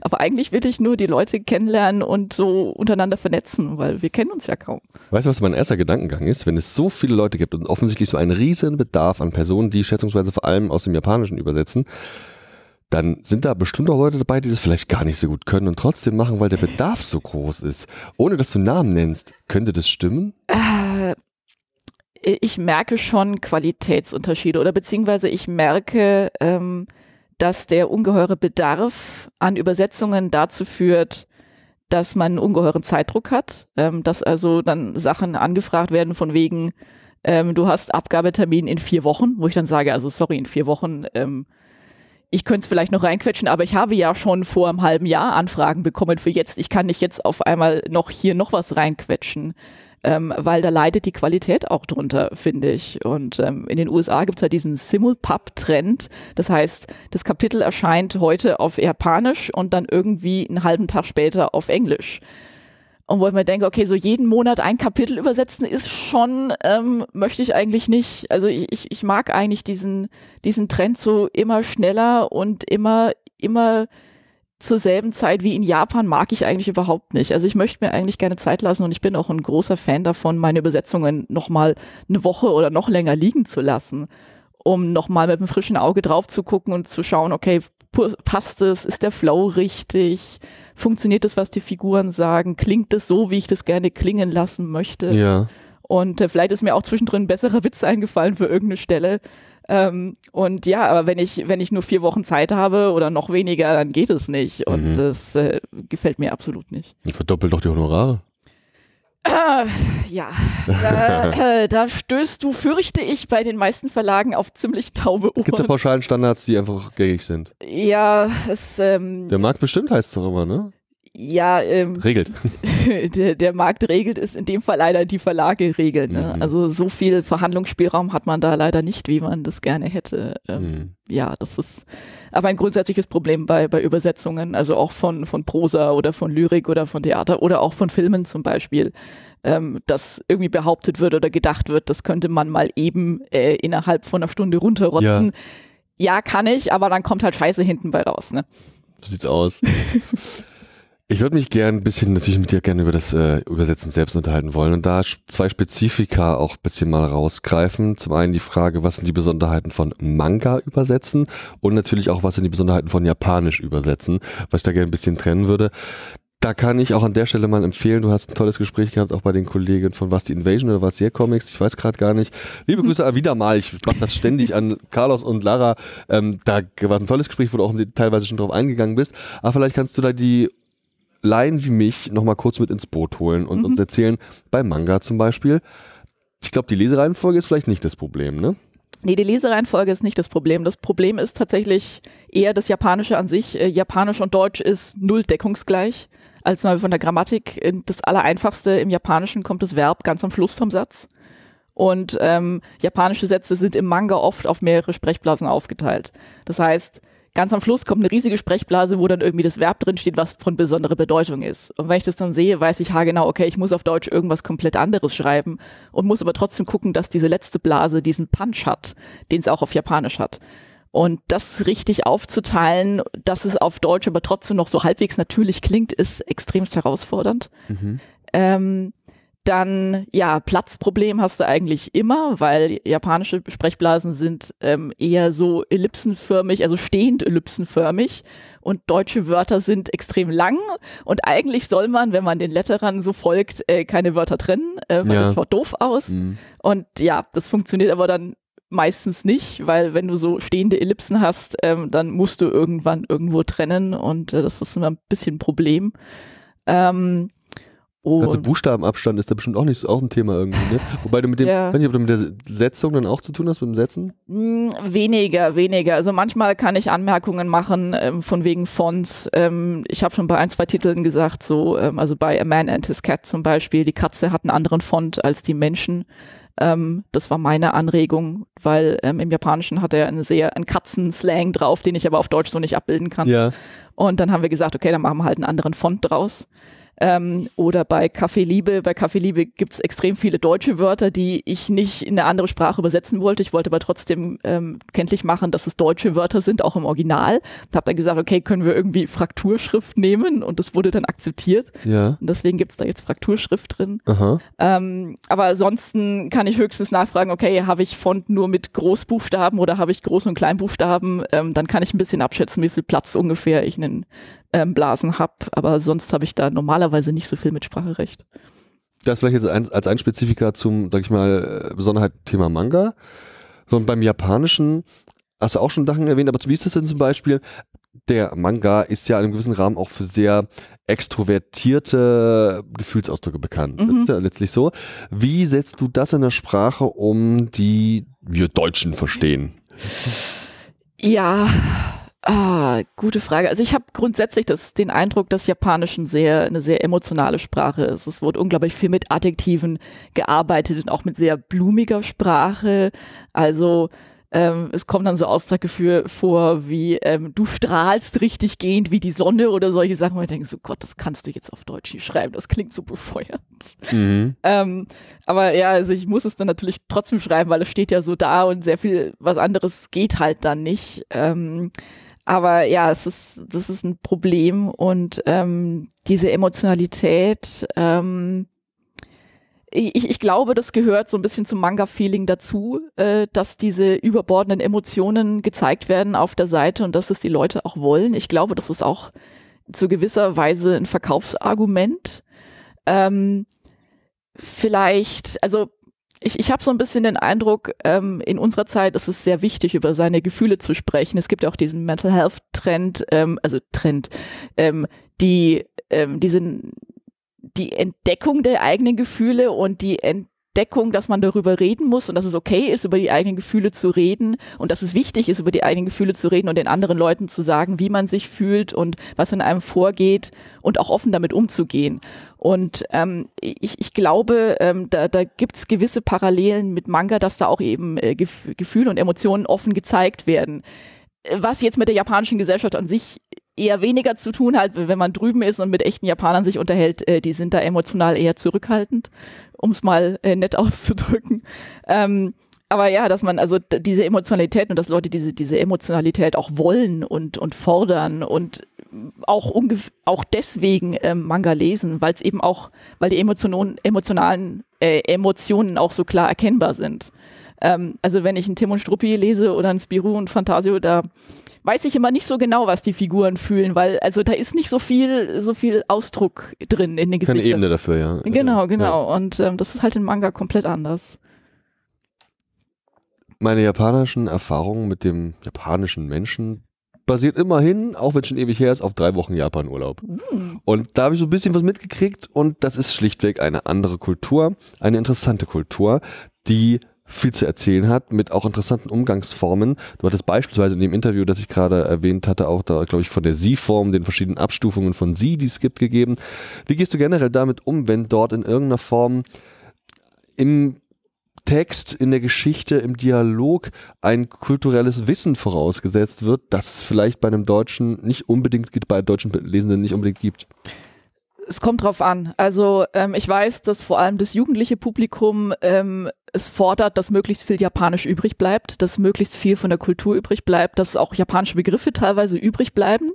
Ähm, deswegen zum Beispiel wir Begriffe für irgendwelches Essen normalerweise auf Japanisch stehen lassen mit ähm, einem Sternchen, wo dann steht in, in der Fußnote, das ist das und das. Mhm. Aber eben weil die Leute wissen wollen, was essen die da, was kann ich möglicherweise selber im Japan-Restaurant bestellen. Ähm, aber wenn ich zum Beispiel so einen Titel habe wie A Man and His Cat, der sich eher so an Mainstream-Publikum ja. richtet, ähm, also das kann ich auch meinen Eltern in die Hand drücken und da versuche ich dann tatsächlich ähm, so zu schreiben, dass das auch für ja, für, für nicht Japan-affines Publikum eher zugänglich ist. Also mhm. wenn dann irgendwelche Anspielungen auf Werbung oder sowas drankommen, dann wird es radikal gestrichen oder radikal ins Deutsche um, ähm, umlokalisiert. Ähm, aber das kommt tatsächlich immer ein bisschen auf den Titel drauf an. Also ähm, zu wissen, für wen schreibe ich das jetzt eigentlich. Und ich, ich finde auch, das ist wichtig, sich das ähm, für, vor Augen zu führen, wer wen man da eigentlich anspricht mit dem Titel, weil nicht jeder wird jeden Titel lesen und deswegen ähm, ist das ist für mich essentiell zu wissen, wer da davor hockt. Ähm, ist beeinflusst mich tatsächlich auch, wenn ich A Man and His Cat schreibe, dass ich mir dann extra nochmal Gedanken mache von wegen so, okay, ist das jetzt wirklich, ist das jetzt idiomatisch deutsch genug? Ist, sagt man das wirklich so auf Deutsch? Klingt es auch für nicht manga-affines Publikum so, wie es klingen soll? Oder klingt es noch zu manga-mäßig? Ja. Ähm, aber das ist also, wie gesagt, kommt auf den Titel drauf an. Tatsächlich. Okay, also für die Zielgruppe angepasste Übersetzung natürlich. Das heißt also auch, dass dann ähm, mal weniger zugänglich, immer mehr zugänglich natürlich sowas auch sein kann. Ne? Ja, also ich meine, ich, ich merke es tatsächlich selber. Ich gucke jetzt gerade ähm, Diener des Volkes auf Netflix. Das ist diese Serie von äh, Wladimir Zelensky, also dem äh, ukrainischen Präsidenten. Und äh, die Serie ist also ukrainisch oder russisch, ich bin mir nicht ganz sicher, auf mit deutschen Untertiteln. Und ich merke, wenn da Begriffe fallen, mit denen ich absolut nichts anfangen kann, dann muss ich erstmal überlegen, okay, worüber reden die jetzt da eigentlich? Ich, ich kenne diesen Begriff nicht. Also ähm, jetzt die, die Tage war eine Folge, es ging, glaube ich, um, um Radar und Radar mhm. ist wohl scheinbar das Parlament in der Ukraine. Na gut zu wissen, ne? Mhm. Genau, aber das wusste ich halt vorher nicht. Und dann kommt plötzlich dieses Wort und ich so, hä? Keine Ahnung, verstehe ich nicht. Und ähm, da, da ist mir auch nochmal so bewusst geworden, dass, dass Worte, die ich persönlich als total gegeben hinnehme, weil ich sie halt kenne, ähm, dass die, dass die aber einem Menschen, der noch nie Manga gelesen hat oder der sich mit Japanisch nicht auskennt, dass das für die halt nicht so selbstverständlich ist und dass ich eben aufpassen muss und zu gucken, habe ich diesen Begriff schon erwähnt, ist der schon erklärt, ähm, weiß das Publikum, was das sein soll oder muss ich da möglicherweise was anderes hinschreiben? Oder kann ich davon ausgehen, okay, es ist ein manga-affines Publikum, das weiß eh, worüber ich da spreche, da muss ich jetzt äh, mir keine Gedanken drum machen. Und ja. Ja. Du hast uns jetzt hier auch mal im zweiten Band mitgebracht oder zum Reinblättern von A Man and His Cat. Ich glaube, der wurde beim Comic-Salon auch besprochen. Quatsch, beim Comic Talk, meine Ja, richtig, richtig. Die haben den auch äh, auf innerliche Sachen kann und will ich jetzt hier gar nicht eingehen. Ich kenne das gar nicht. Wie ist das denn eigentlich abgelaufen? Bei sowas wie Asterix hat uns der Klaus Jürgen erzählt, da übersetzt er und dann schickt er die Übersetzung zum Verlag und die schicken es zum französischen Verlag und der übersetzt es zurück und dann machen die mal ja oder nein und dann gibt es Anmerkungen und dann schicken die wieder was zurück und dann kann er wieder weiterarbeiten. Läuft das bei japanischen Sachen auch oder ist das so bei den Verlagen oder ist das allein aus quantitativen Gründen überhaupt nicht möglich? Ähm, ich, ich wüsste nicht, dass es bei irgendeinem Titel schon so gelaufen ist. Ähm, normalerweise läuft es so, ich kriege das Buch oder ja, das PDF inzwischen meistens. Mhm. Ähm, ich übersetze das, ich schicke es dem Verlag ähm, dann kriege ich meistens zumindest eine korrigierte Fassung zurück, also entweder ein korrigiertes Word oder schon ein gesetztes PDF, gucke mir das nochmal an und wenn ich sage, ja, okay, ähm, dann geht es möglicherweise nochmal durch ein ähm, Rechtschreibkorrektorat ja. durch. Aber das war's dann. Also die japanische Seite mischt sich da normalerweise nicht ein, soweit ich weiß. Meine Diskette erscheint jetzt bei Manga Kalt. Machst du viel für die?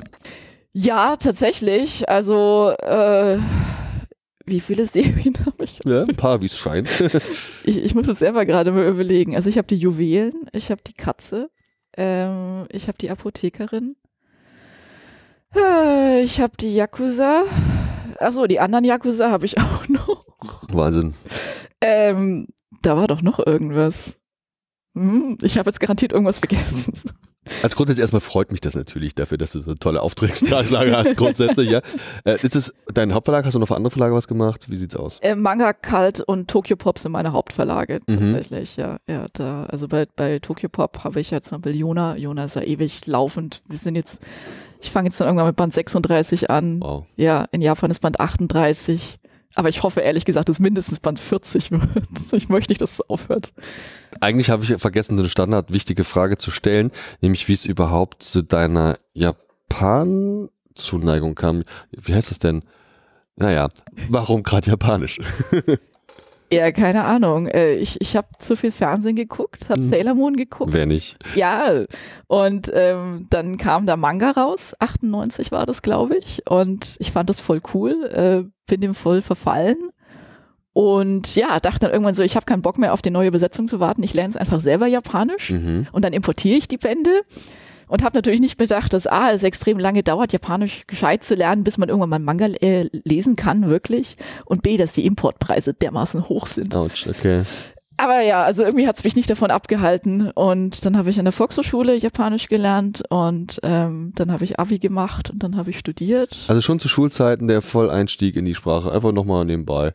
Ja, ja, ich bin aber eh so ein, so ein Sprachenmensch. Ja. Also ich lerne gerne neue Sprachen und das fällt mir zum Glück auch relativ leicht. Ähm, und gut, und damals hatte ich natürlich in der Schule noch relativ viel Zeit, da rein zu investieren. Also ich habe das schon gemerkt im Volkshochschulkurs, die Erwachsenen, die gearbeitet hatten, die haben da keine Zeit oder nicht so wirklich viel Zeit dafür gehabt, klar. Mhm. Du, du, bist ja auch promoviert. Gibt es denn, hat das einen linguistischen Zusammenhang? Äh, ja, jein. Äh, ich, ich habe über Manga äh, meine Doktorarbeit geschrieben oder Manga und Anime, beziehungsweise über Liebe zwischen Mädchen in der japanischen Popkultur. Mhm. Ähm, und habe dafür jede Menge Manga gelesen und äh, Anime geguckt. Ähm, und ja, ich, ich habe ja auch so, so ein halbes Monopol auf Girls Love Manga Übersetzungen. Ja. Also meiner Erzählung nach habe ich irgendwie die Hälfte aller Deutsch, auf Deutsch erschienenen Girls Love Manga übersetzt. Aha. ja, es sind schon, das ist natürlich auch so ein Thema, das fällt mir auch immer wieder auf. Vielleicht kannst du da auch nochmal, jetzt auch zum Ende unseres Gesprächs, da nochmal, vielleicht hast du da überhaupt Ahnung, weiß ich gar nicht. Wenn ich jetzt diese Interviews führe auf diesen ganzen Comic-Veranstaltungen, die es in Deutschland gibt, dann ist da natürlich der Manga super repräsentativ und ganz viele, gerade junge deutschsprachige Frauen machen Boys Love-Geschichten. Das ist ein gut funktionierendes, möchte ich mal Subgenre nennen, dass das, glaube ich, auch gut gekauft wird in verschiedenen, auch ich möchte es auch sogar Qualitätsstufen nennen. Läuft alles relativ gut, glaube ich, machen die nicht ohne Grund, lesen es auch gern selbst. Und ich sehe da so eine Art Trend in dieser Szene, den ich beobachten kann. Kannst du irgendwelche meinetwegen erzählerischen Unterschiede ausmachen zwischen Mangas, die in Deutschland erschienen sind, von deutschsprachigen Comic-KünstlerInnen stammen und japanischen Werken? Uh, das ist eine schwierige Frage. Ich, ich gebe zu, äh, von deutschen ähm, gezeichnete Manga, ich kenne mich nicht besonders gut damit mhm, aus. Mhm. Ähm, äh, ich, ich, ich, ich sehe schon irgendwie so, so zeichnerische Unterschiede, aber ich, ich, ich tue mir total schwer festzumachen, was genau der, der mhm. Unterschied mhm. ist. Also irgendwas ist anders, aber ich, ich weiß nicht, was genau es ist. Also ja. ich habe das auch noch nie so, so wirklich mich damit beschäftigt, so eingehend. Okay, okay. Aber ähm, es gibt irgendwelche Unterschiede. Ich denke auch, es gibt beim Erzählen gewisse Unterschiede. Ähm, aber ich, ich könnte jetzt nicht genau festmachen, welche, leider. Wir haben beim Salon noch drei Tage vor uns mit ganz vielen tollen Dingen. Worauf freust du dich noch? Was sind deine Highlights die nächsten Tage? Mm, mein Highlight heute ist mein Workshop äh, zum mhm. Manga übersetzen, heute Mittag. Ähm, und ansonsten freue ich mich drauf, jede Menge Leute zu treffen, äh, mich zu unterhalten, Leute wiederzusehen, die ich jetzt vier Jahre mindestens nicht gesehen habe ähm, und im Schlosspark zu sitzen und nichts zu tun. Mega. Es gibt da diese neue Lounge, die die da gemacht haben. Ja. Also lesen, zocken, auf der Couch hocken, einfach gammel. Das ist wie zu Hause, nur draußen. Das ist voll gut. Perfekt. Optimal. Liebe Verena, vielen, vielen Dank, dass du da warst und mit uns über deine Arbeit gesprochen hast. Gerne. Ich wünsche einfach noch mega viel Spaß beim Salon. Danke dir. Ebenso. Ciao. Ciao. Die nächste Dame hier bei mir am Tisch, das ist eine alte Bekannte vom Telestammtisch und da passt auf jeden Fall der Spruch, man sieht sich immer fünfmal. Irgendwie war es genau auch so. Wir treffen uns hier und da auf verschiedenen Comic-Veranstaltungen. Sie ist Illustratorin, Comic-Künstlerin und sie ist immer mit ihrer besten Hälfte am Start, die auch einfach mal voll nette Menschen sind und so. Mal gucken, was passiert. Hallo, ich bin der Andi. Und wer bist du? Hallo, ich bin Brea Comic Arts. Äh, kann ich auch Bianca nennen. Mhm. Und ja, wir kennen uns ja schon ein bisschen. Ein bisschen. Aber ich kann ja sagen, ich bin äh, Illustratorin, Comiczeichnerin aus äh, Dresden und ich habe äh, mein neuestes Projekt mit am Start und kann es kaum erwarten, ein bisschen darüber zu palabern. Mein Publikum hatte ich das letzte Mal, glaube ich, gehört, 2018, als wir uns da in diesem Zelt bei der Comic Solidarity getroffen haben. Und du hast dich da auch schon vorgestellt. Ich glaube, seitdem ist aber einiges passiert. Vielleicht kannst du mal für uns und vor allem fürs Publikum so ein bisschen für dich die letzten vier Jahre aus künstlerischer Sicht Revue passieren lassen. Was ist denn in den letzten vier Jahren bei dir passiert? Wow. Ähm, natürlich, äh, in den letzten vier Jahren kam Corona dazwischen. Mhm. Und ich hatte ähm, bisschen Orientierungsschwierigkeiten, wie es dann äh, weitergehen soll, weil ich hatte noch äh, am Anfang von Corona einige Aufträge, die habe ich abgearbeitet. Ich hatte einen Minijob, der ähm, lief dann auch nicht so gut mhm. und dann kam der Punkt, okay, irgendwas muss jetzt passieren. Ich würde so gerne mein ähm, Comic Baby, äh, was ich liebevoll so bezeichne, äh, langsam einen Angriff nehmen, an dem ich auch schon äh, mehr aktiv oder mhm. weniger aktiv ja. seit einigen Jahren arbeite. Und ich habe dann, ähm, weil ich bei der VG Bildkunst äh, Mitglied bin, ähm, mich für das Stipendium beworben und habe das dann auch bekommen. Mm, cool. Und somit hatte ich ein bisschen Zeit, äh, daran zu arbeiten und brauchte mir über Geld dann erstmal nicht so viel Gedanken machen. Toll. Es war richtig, richtig gut. Genau. Konnte sich dann voll und ganz auf dein neues Comic-Baby offensichtlich äh, stürzen. Ja. Was hast du uns denn heute mitgebracht? Erzähl mal. Okay, also ähm, es ist noch nicht veröffentlicht, aber ich würde gerne den Titel verraten. Der heißt bisher Idaro Chronicles und das ist ähm, ein Comic, den habe ich schon von Anfang an auf äh, mehrere Bände angelegt. Mhm. Und ich habe ähm, ja was dabei, äh, man kann es jetzt nicht sehen, aber. Ähm, also die Mappe dabei mit ersten, äh, das ist schon, schon fertig, die ersten Seiten und Panels, oder ist es noch, nee, das ist nicht mehr Entwurfsstadium, das ist schon weit drüber hinaus. Ja, auf jeden Fall. Ich habe, ähm, also die Geschichte spielt in der Postapokalypse und ähm, der Comic ist soweit äh, fertig gezeichnet, mhm. gelettert. Ich habe ähm, einen ganz, ganz netten Künstler kennengelernt, der Wenzel. Mhm. Der macht für mich die Hintergründe. Wir haben da so einen Vertrag. Und das hat sich alles sehr gut in den Corona-Zeiten doch ergeben, dass wir da ähm, in Kontakt treten konnten. Mhm. Und ähm, jetzt ist die Frage für mich halt, wie gehe ich damit weiter vor? Ja. Wir wollen das eventuell als Webcomic erstmal rausbringen, mhm. aber mein größtes Ziel wäre, das natürlich auch in, in Comicform, in Papierform zu haben, äh, als Hardcover und ich bin hier auf dem Comic-Salon ein bisschen auf Verlagsjagd und äh, bin schon mit Splitter in Gespräch gekommen. Mhm. Ja, aber. Also triffst dich da mit denen und pitch denen quasi deinen Comic und Genau, ich muss denen das auf jeden Fall nochmal zeigen. Das mache ich dann an Comic-Salon äh, Samstag.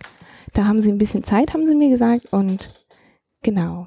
Ich wollte noch auf jeden Fall erwähnen, dass ich hier ähm, nicht alleine als Künstlerin äh, bin, sondern ähm, bei dem Stand von Toonsup.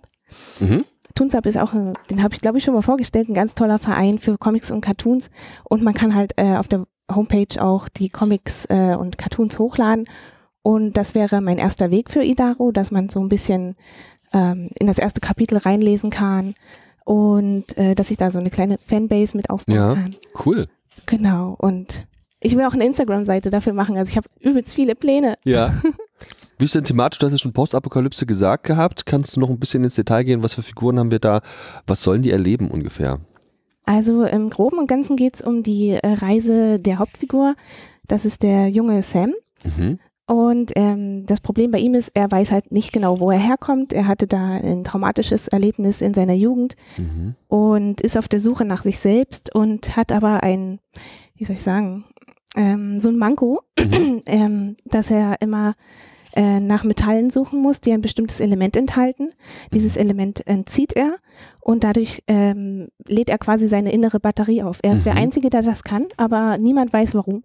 Mhm. Und auf seiner Reise trifft er dann auf Mitstreiter, die im ersten Kapitel erstmal skeptisch sind, ob er vielleicht ein Räuber oder ein Söldner ja. ist. Aber die werden dann auch noch ähm, Freunde und reisen dann gemeinsam über den Planeten Idaru und erleben einige Abenteuer und ja, ich habe ein paar spannend, spannende spannend. Schauplätze. Erinnere mich auch von dem, was ich sehe, ist natürlich so ein bisschen auch so ein Wüstensetting, ne? Genau. Ähm, ist so dieser Dune-Aspekt vielleicht auch einer? Also würdest du sagen, dass du auch so Dune-Fans mit abholen möchtest?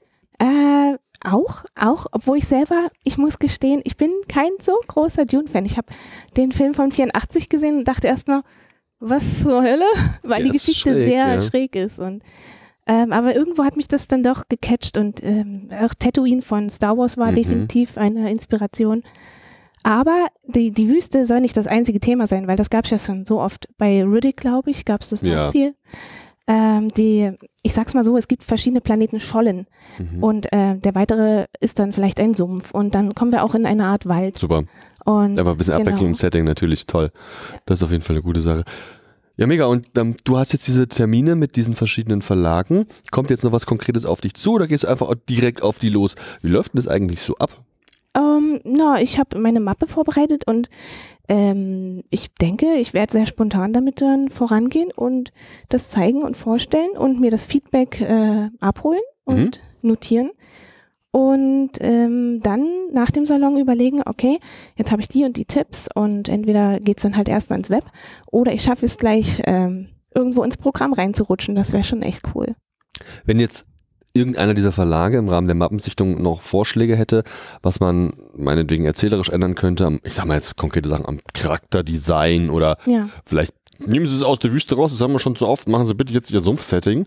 Ähm, würdest du auf solche konkreten Vorschläge eingehen oder wäre das zu radikal? Wow, naja, sagen wir mal, ich habe sechs Monate an, also ich und mein Hintergrundzeichner haben sechs Monate an den Kapitel 1 gearbeitet. Ich würde ungern das nochmal komplett eben. neu zeichnen. Mhm. Also es wäre schon irgendwie toll, wenn ich das so in, also ich habe auch ein Drehbuch geschrieben bis Kapitel 5. Mhm. Fehlen noch drei Kapitel. Ja. Und, äh, nee, vier sogar. Ja. Und ähm, ich bin relativ überzeugt von meiner Geschichte und ich, ich habe mich da schon ein bisschen verliebt und ja, freue mich schon richtig das auf diese Szenen. Ich kann da eigentlich gar nicht viel ändern. Das heißt also, du hast auch schon den kompletten Arc im Kopf, die Charakterentwicklung und eben mit allen Highlights, genau. Downs, die es gibt, alles schon komplett im Kopf quasi.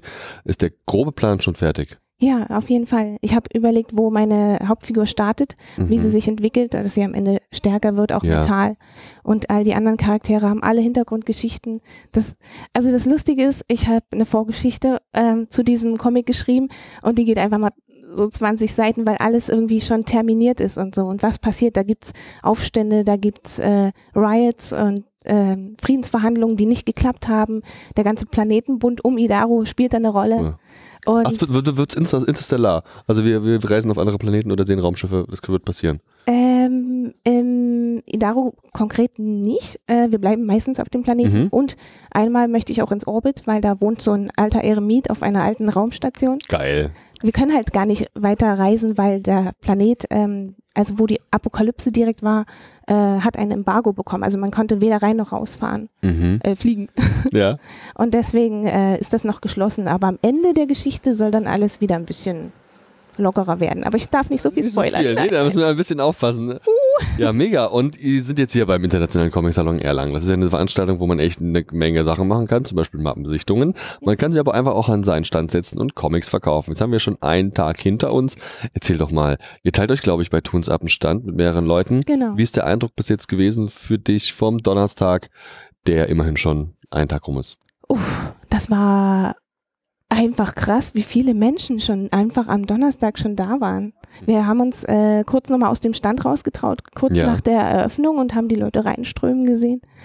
Und ähm, ich bin einfach mega glücklich, äh, mich mit dem Medium äh, meines Lebens umgeben zu können. Weil Comic zeichnen, ich habe schon in der zweiten Klasse meinen ersten Comic gezeichnet, also es war schon immer mein Ding. Ja. Und deswegen fühle ich mich hier irgendwie auch zu Hause.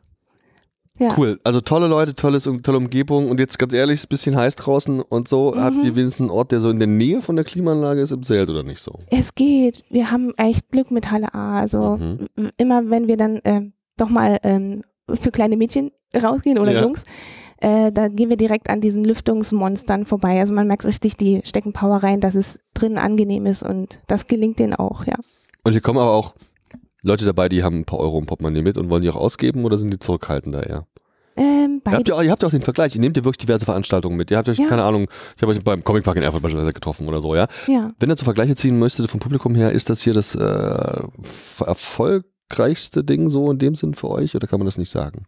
Ähm, am meisten Erfolg hatte ich äh, das erste Mal auf der Leipziger Buchmesse mhm. tatsächlich. Da ging das ganz gut. Ich habe manchmal das Gefühl, es kommt doch darauf an, äh, an welchem Zeitpunkt des Monats es liegt. Ende mhm. des Monats ist immer ganz schlecht, finde ich, für eine, ja. für eine Messe. Aber wir sind jetzt Mitte des Monats und wir hatten gestern auch zwei ganz liebe äh, Menschen am Stand, die haben einfach ganz viele kleine Originale gekauft. Toll. Also es ist gut gemischt von Leuten, die einfach nur quatschen und dann geht's weiter, aber man hat schon mal so ein Connecten oder Leute, die wirklich sagen, okay, cool, Originale kaufe ich. Also es ist alles dabei, denke ich. Ja. Und hattest du auch schon Zeit, dich mal privat mit Dingen hier zu beschäftigen? Wir haben uns ja gestern Abend auch getroffen bei einer Veranstaltung. Vielleicht magst du da mal ein bisschen erzählen. Was ist für dich denn privat hier auch interessant mal mitzunehmen? Uh, wow. Das ist eine interessante Frage, weil. Beim Comics Talk waren wir ja zum Beispiel gestern Abend. Genau. Auch, ne? Und selbst das war irgendwie teilweise geschäftlich für mich. Ach so. Weil beim Comic Talk habe ich äh, natürlich total die Hella gefeiert, weil die habe ich noch nie äh, vorher live gesehen. Mhm. Das ist ja wirklich ein Organ, was sie hat. Mhm. Das geht durch Mark und Bein. Man hört's, ja. und ähm, aber auch so die Gespräche, die sie über die Comic-Publikation von Ingo Röbling und Uli Lust äh, gemacht haben, da habe ich dann Dinge rausgehört, wo ich dachte, aha, das muss ich jetzt für mich dann mal ähm, notieren, wie zum Beispiel, dass beim ähm, äh, Lettering in den Sprechblasen äh, diese Trennstriche ganz doof sind zu lesen. Bindestrich. Ja, genau. Und äh, dann habe ich gleich so meine Notizen gemacht und dann gleich mal gecheckt, wie das bei meinem Comic ist. Ah, da habe ich drauf geachtet. Wundervoll. Weil irgendwie, manchmal hat man das schon so im Gefühl und manchmal äh, weiß man das noch gar nicht und dann Ja. man sich das. Gibt Dinge, die bewusst und unbewusst, genau sieht's aus. Und da ist auch immer gut, wenn man mit Menschen zusammenarbeitet, die eine gewisse Erfahrung haben und einfach auch mal Kolleginnen und Kollegen drüber schauen lässt über die eigenen Sachen. Ja, Ich vermute mal, da bist du allein, allein schon mit Tunes ab im Austausch mit anderen Menschen, total. zeigst. Da lerne ich auch ganz viele Leute kennen und das ist der Hammer. Trefft ihr euch gerade eigentlich wieder regelmäßig, jetzt wo offiziell Corona ja vorbei ist? Ähm, naja, wir tun's ab äh, ist ja relativ gut verbreitet im bundesweit. Mhm. Und ähm, wir kommen ja aus Dresden und äh, die meisten, die jetzt am Stand sind, kommen aus Berlin. Also wenn man sich dann doch mal in Berlin oder so trifft, dann ist das schon ganz cool. Aber Ja. wir haben zum Beispiel äh, mit Tunsab, äh, die Bosener Mühle, das ist ein Zeichnertreff im Saarland Mhm. für die Künstler von Tunsab und auch andere. Aber Saarland und Dresden, Da liegen ein paar Kilometer dazwischen. ja, leider. Mhm. Deswegen können wir wieder nicht teilnehmen. Aber ich habe mir das für nächstes Jahr auf dem Schirm.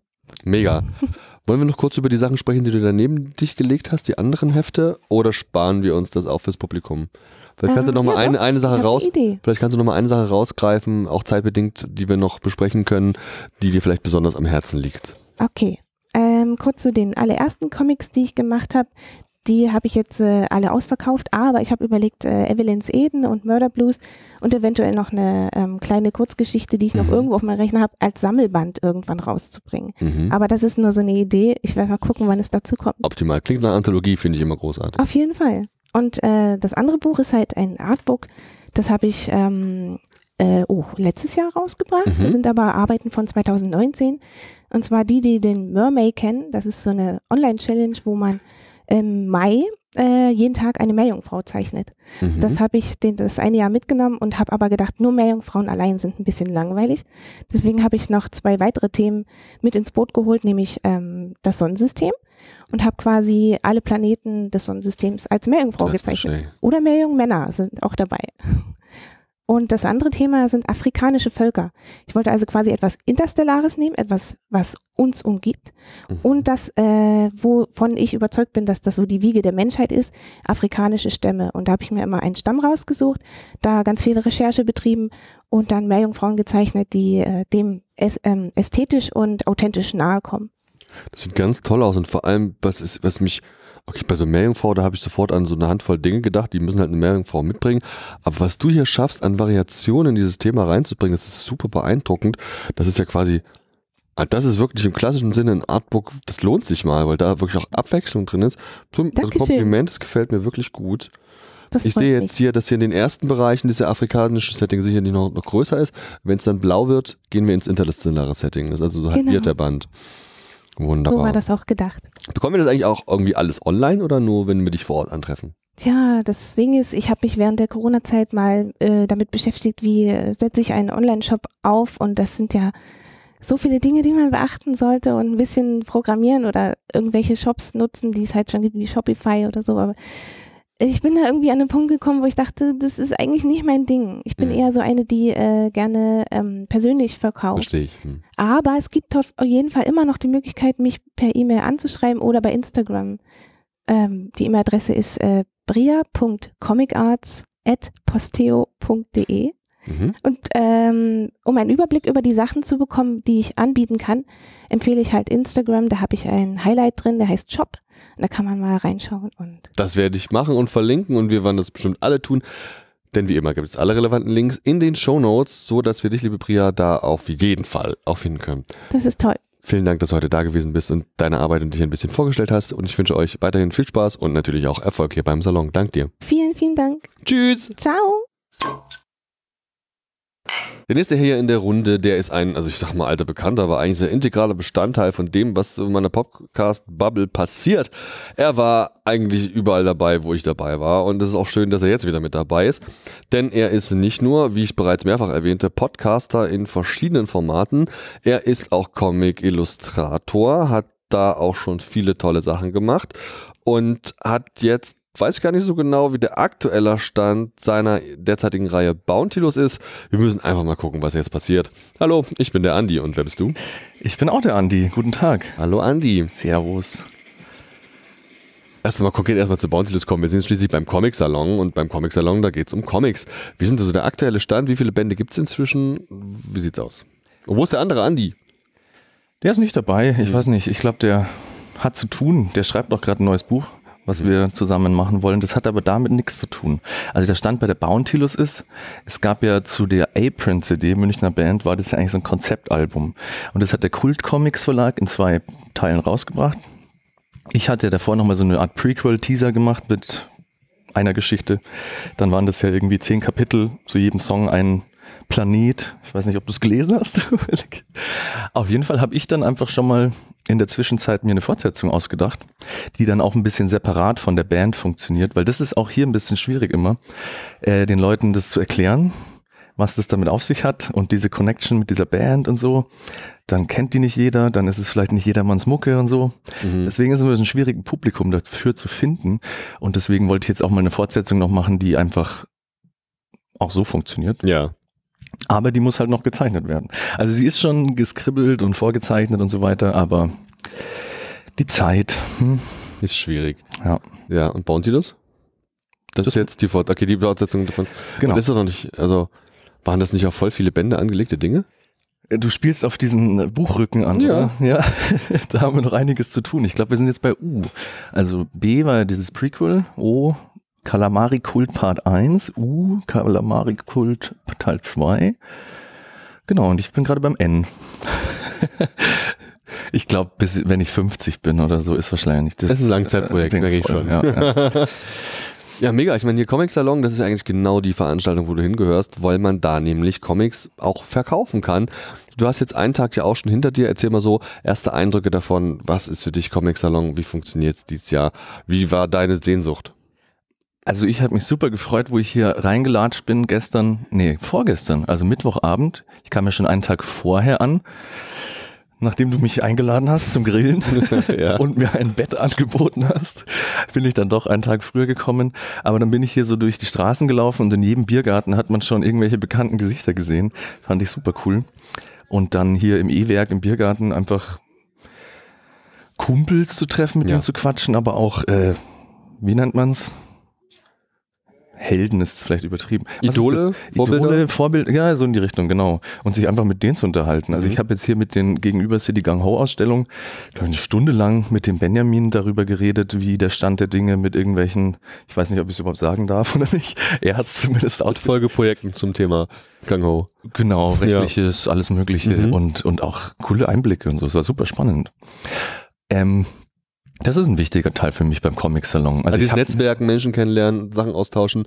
Einfach auch, weil es dich aber auch privat interessiert. Und du bist ja auch ein kommunikativer Typ. Gibt es denn jetzt auch so, sag ich mal, zu Publikum, das auf dich zukommt und zu Fans sind und die da ganz viele Signaturen von dir wollen? Und du hast auch erzählt, du hast ja Original-Artworks dabei, die auch Menschen von dir abkaufen. Wie ist denn so die Interaktion mit dem Publikum? Das ist ganz unterschiedlich. Also ich finde es habe ich ja vorher schon angesprochen, teilweise ein bisschen schwierig, jetzt die Comics irgendwie an den Mann zu bringen, weil es eben ein bisschen schwierig zu erklären ist und ähm, es ist halt kein bekannter Titel, keine bekannten Characters und so. Ähm, deswegen die Leute, die bei mir an den Stand kommen und mich noch nicht kennen, ich habe halt ähm, jetzt über Corona irgendwie ein Kindermalbuch gemacht, weil mir langweilig mhm. war. Oder ein Schafkopfkartendeck mit Charakteren aus. Alles wunderschön, guckt euch an. Horrorfilmen und so. Und das springt halt die Leute mehr an als jetzt ja. diese Comics und so. Was ja auch ganz cool ist. Ich will natürlich schon lieber unsere eigenen Sachen verkaufen, als jetzt irgendwie Fanart, nenne ich es jetzt mal. Mhm. Also, aber es ist natürlich immer ein schöner Einstieg, weil die Leute kommen immer vorbei und es freut mich natürlich immer, wenn die Leute dann stehen bleiben und halt einfach lachen, yeah. weil sie irgendeine Karikatur sehen von whatever, irgendeinen Charakter, den sie kennen. Und ich versuche es ja schon in meinem Stil und noch einen kleinen Gag reinzubringen. Deswegen, das finde ich eigentlich am coolsten, wenn die Leute vorbeigehen und einfach lachend stehen bleiben.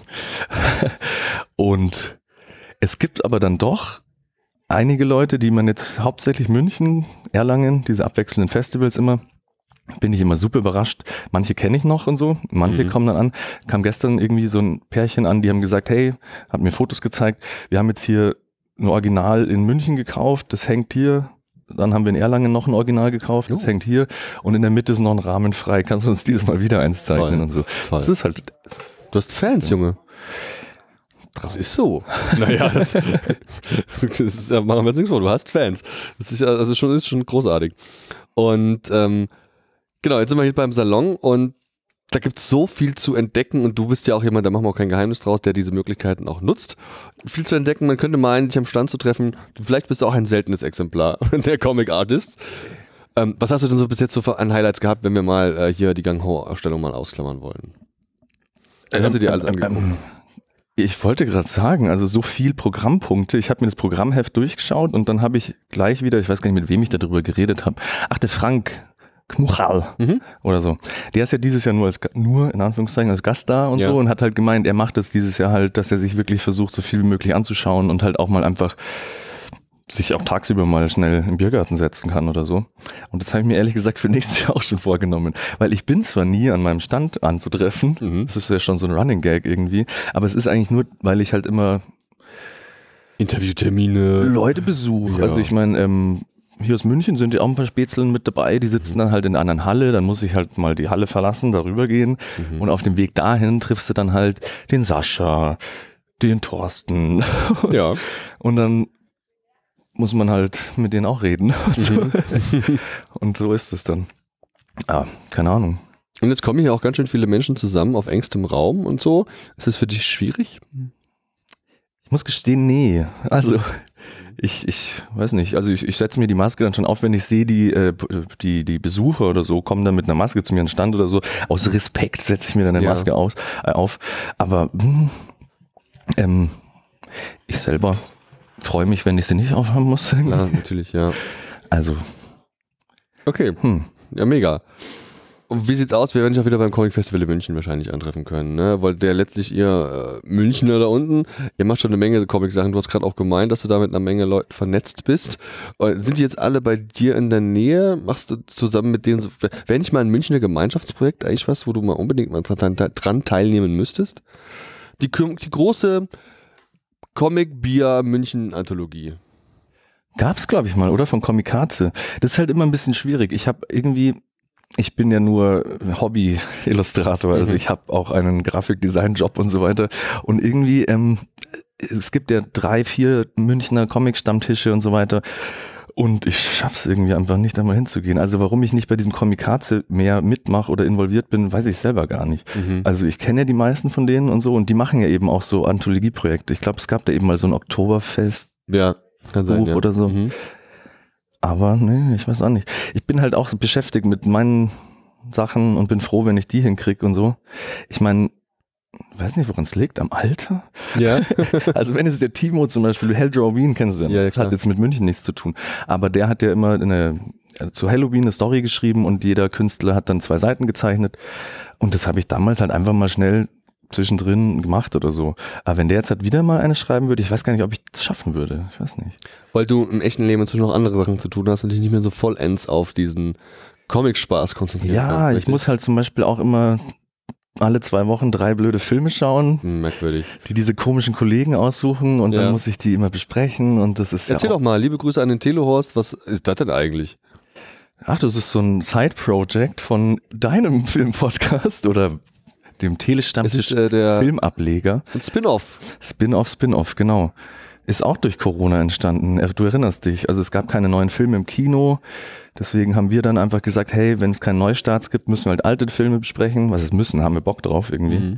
Und dann habe ich mir halt mit zwei lieben Telestammtischkollegen uns zusammengetan und immer ein Thema ausgewählt. Jeder sucht einen Film dazu aus und dann besprechen wir die. Und irgendwie hat es so viel Spaß gemacht, dass wir es jetzt immer noch machen. Liebe Grüße an Max und du an der Stelle, die hast mit dir zusammen regelmäßig gewuppen. Es sind mega unterhaltsame Ausgaben. Die Jungs wissen, wovon sie sprechen und selbst wenn sie es nicht wissen, klingt es zumindest ganz spannend, wie sie es zusammen konstruieren.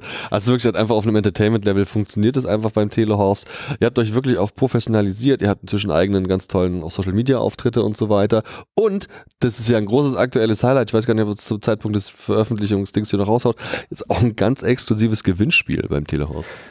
Ja, das ist alles gar nicht so spannend, wie es klingt. Also ich habe einfach auf einer Feier einen Spätzl gefragt, ob er mal Lust hat, mit über Filme mit Twists zu sprechen. Und er hat behauptet, er kennt Psycho noch nicht und weiß nicht, worum es da geht. Und da dachte ich mir, spinnst du eigentlich?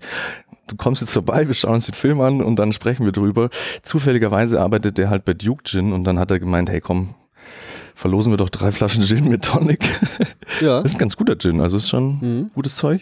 Und ja, wenn man dann irgendwie uns einen schlauen Kommentar abgibt, kann man das gewinnen. Mega. Aber ich glaube, bis zum 30.06. geht das Gewinnspiel. Wird knapp. Ja. Okay. Aber das ist doch eigentlich genau das Ding. Du bist ja letztlich jemand, der gerade gesagt hat, er würde gerne lieber das eigene Zeug verkaufen und nicht das Fremdmaterial. Jetzt bist du aber auch Filmnerd. Jetzt guckst du auch so viel. Jetzt guckst du es ja auch gern und setzt dich gern mit dem Thema und den Inhalten auseinander. Hast auch dieses Horrorspektrum ja mit deinem Kartendeck zum Beispiel auch abgedeckt. Geh doch in die Richtung. Mach doch Horror, Film, Comic, Gedöns oder halt nur Illus Fanart. Ist doch geil. Ja, aber es ist halt schon noch so ein bisschen, ähm, das kommt vielleicht auch aus dieser Filmrichtung. Also was Eigenes zu kreieren, Mhm. zu schaffen, ist auch wichtig. Natürlich. Also, wie gesagt, wir haben gestern ein ganz langes Gespräch über so Fanart-Geschichten gehabt und so, weil das bei einigen ist das ja voll verpönt, dann wieder doch nicht und sonst wie. Und dann habe ich halt auch gesagt, ich mache es halt selber gerne und wie ich ja vorher schon gesagt habe, freue ich mich halt, wenn die Leute irgendwas sehen und dann ein bisschen schmunzeln müssen und so. Mhm. Und ich mache halt gerne Karikaturen und dann karikiere ich natürlich Sachen, die ich selber mag oder kenne oder lustig finde und so und nicht jetzt dich oder Ja. meinen Vater oder so. Keine Ahnung. Äh, ich mache das ja nicht, weil ich denke, das verkauft sich besser, sondern weil ich halt, wenn ich einen Film geschaut habe und will eine Illustration machen oder eine Karikatur oder so, ähm, dann mache ich das halt. Würdest du eigentlich Sketche machen, Auftragsarbeiten hier beim Salon, A4-Seite, Full, Full Body, irgendwas? Ich muss. Ja. Also ich hatte, ich habe eh Panik, ich muss noch irgendwo einen A3-Block auftreiben heute. Mhm.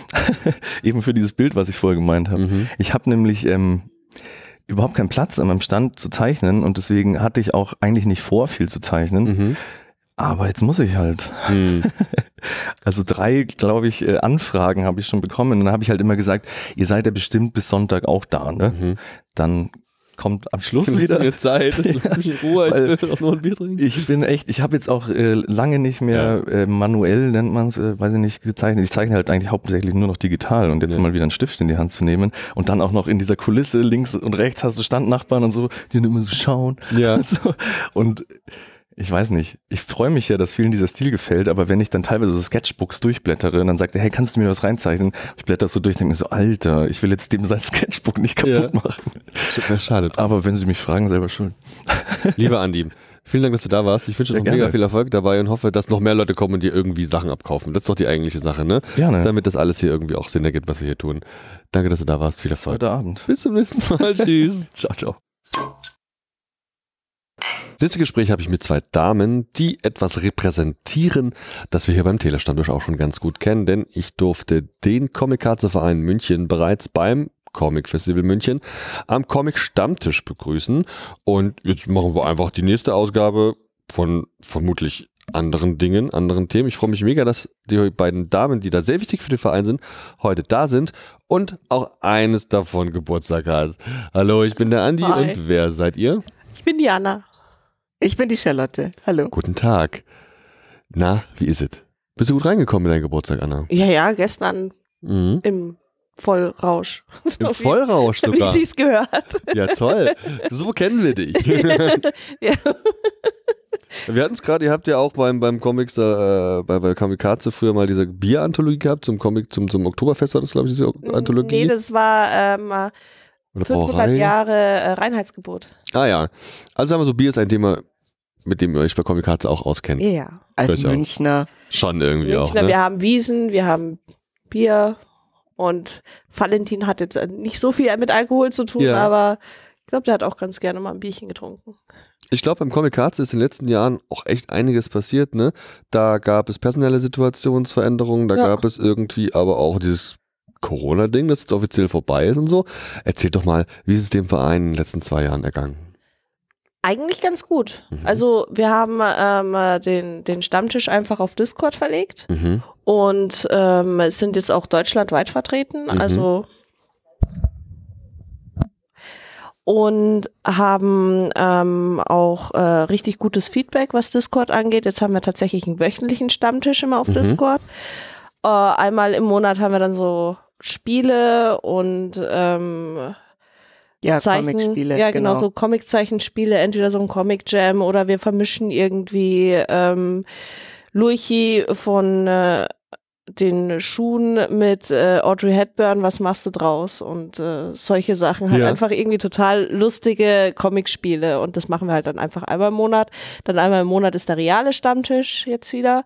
Und ähm, sonst, ja, haben wir jetzt auch in Corona ein Online-Heft raus, das aber jetzt auch bei uns am Stand gedruckt äh, erschienen ist. Und ja, drei Hefte Wir haben, wir haben drei Hefte bei Corona jetzt rausgekommen. Also jetzt zum Stamm, zum Comic-Salon kommt das dritte Heft raus. Ist es rausgekommen? Ist rausgekommen, das liegt ja genau. aus. Ja, es liegt aus. Also wir haben tatsächlich geschafft, drei kostenlos Hefte zu machen. Toll. Genau. und planen ähm, jetzt äh, das neue große Album Der Berg ruft. Mhm. Was heißt das? Plan, was, da wer ist da wie beteiligt? Erzählt mal. Äh, ja, wir haben das jetzt erst einmal einen Startschuss gegeben. Wir suchen uns jetzt ein paar Zeichner aus, die wir unbedingt haben Mhm. wollen. Falls der Fühlige zuhört, ne, ich bin ganz großer Fan, ob er Mhm. mitmachen will. Also gar nicht so mit München-Fokus. äh, nein, nicht mit München Fokus. Das war ja auch bei den anderen Alben nicht so. Mhm. Also da hat der Tom Bunk mitgemacht, da hat der ähm, Wirtz mitgemacht und äh, also der Timo Wirtz und ähm, da, da, da sind wir halt einfach wirklich auf die Zeichner zugekommen, die aber auch gerne haben möchten, Mhm. äh, ob die mitmachen wollen. Mhm. Und wir wollten halt jetzt einfach auch so ähm, schauen, was halt einfach auch mehr junge und und und also viel Schicht, also viel größere, Co- also Community an Comics Zeichner, wie wir bis jetzt hatten. Wir wollen halt noch größer werden. Genau. Ja, wir haben jetzt äh, für den Salon eine Website vorbereitet, comikaze.eu, der Berg ruft, Aha. also der, Ber der minus Berg minus ruft. Und da sind jetzt schon mal die Daten und da können wir jetzt gezielt Zeichner ansprechen, damit wir halt auch gute Leute finden. Und das ist hier natürlich auf dem Salon die Chance, Optimal. weil Verraten alle auf Laune. einem Genau. Haufen sitzen. Genau. Toll. Den Supermarkt und Einkaufswagen, den Künstler. Ja, genau. ja, ich meine, das könnt ihr auch einfach mal so organisatorisch planen, denn ihr seid meines Wissens beide im Vorstand des Vereins, Ja, richtig? der Vorstand ist zum ersten Mal, also jetzt zum zweiten Mal komplett weiblich. Mhm. Und Seit wann ist das denn der Fall? Seit 2000, Nee, seit, wann ihr im Vor- seit, seit, 21. seit 21 seid ihr im Vorstand. ja. Also ich bin schon länger im Vorstand seit 2017 oder so, ich weiß es nicht. Und eure Aufgabe ist ja mehr so dieses organisatorische, strategische, die Stammtische planen, diese ganzen Konzeptalben, die ihr jetzt gesprochen habt, zu ja, organisieren. also Stammtisch ist ein Selbstläufer, da muss ich, also wir sind halt immer im Kleinste 17 in München und ähm, ich habe irgendwann gefragt, soll ich dir eigentlich da einfach immer Bescheid geben oder ja, nee, solange du nichts sagst, ist das immer am Mittwoch. Also von dem her, das ist gesetzt. Jeden Mittwoch äh, Discord ist gesetzt und manche Sachen, das sind halt einfach Selbstläufer, weil wir sind ja viele mhm. und wir zwei machen nicht alles äh, im Verein und Leute, die sich engagieren, sind immer herzlich willkommen und ähm, das, das, das macht ja auch einen Verein aus, weil es ist ja nicht Anna und Komikaze, sondern das Na Komikaze. Community. Na klar. Aber gerade weil eure Mitglieder auch ansprichst, wie sieht's aus? Sind das in den letzten zwei Jahren mehr geworden, weniger geworden? Gab es da irgendwelche Veränderungen? Ah, ist ein bisschen gleich geblieben. Ja, es hat sich ein bisschen durchgemischt. Also Ja. dadurch, dass wir ähm, während Corona den Stammtisch online gemacht haben, sind natürlich Mitglieder, die jetzt von München weggezogen sind, auch wieder dazugekommen. Wir ähm, also es schalten sich jetzt von ganz Deutschland Leute Ja, ein. ja. Dafür sind leider manche, die jetzt so nicht internetaffin sind, haben sich ein bisschen zurückgezogen.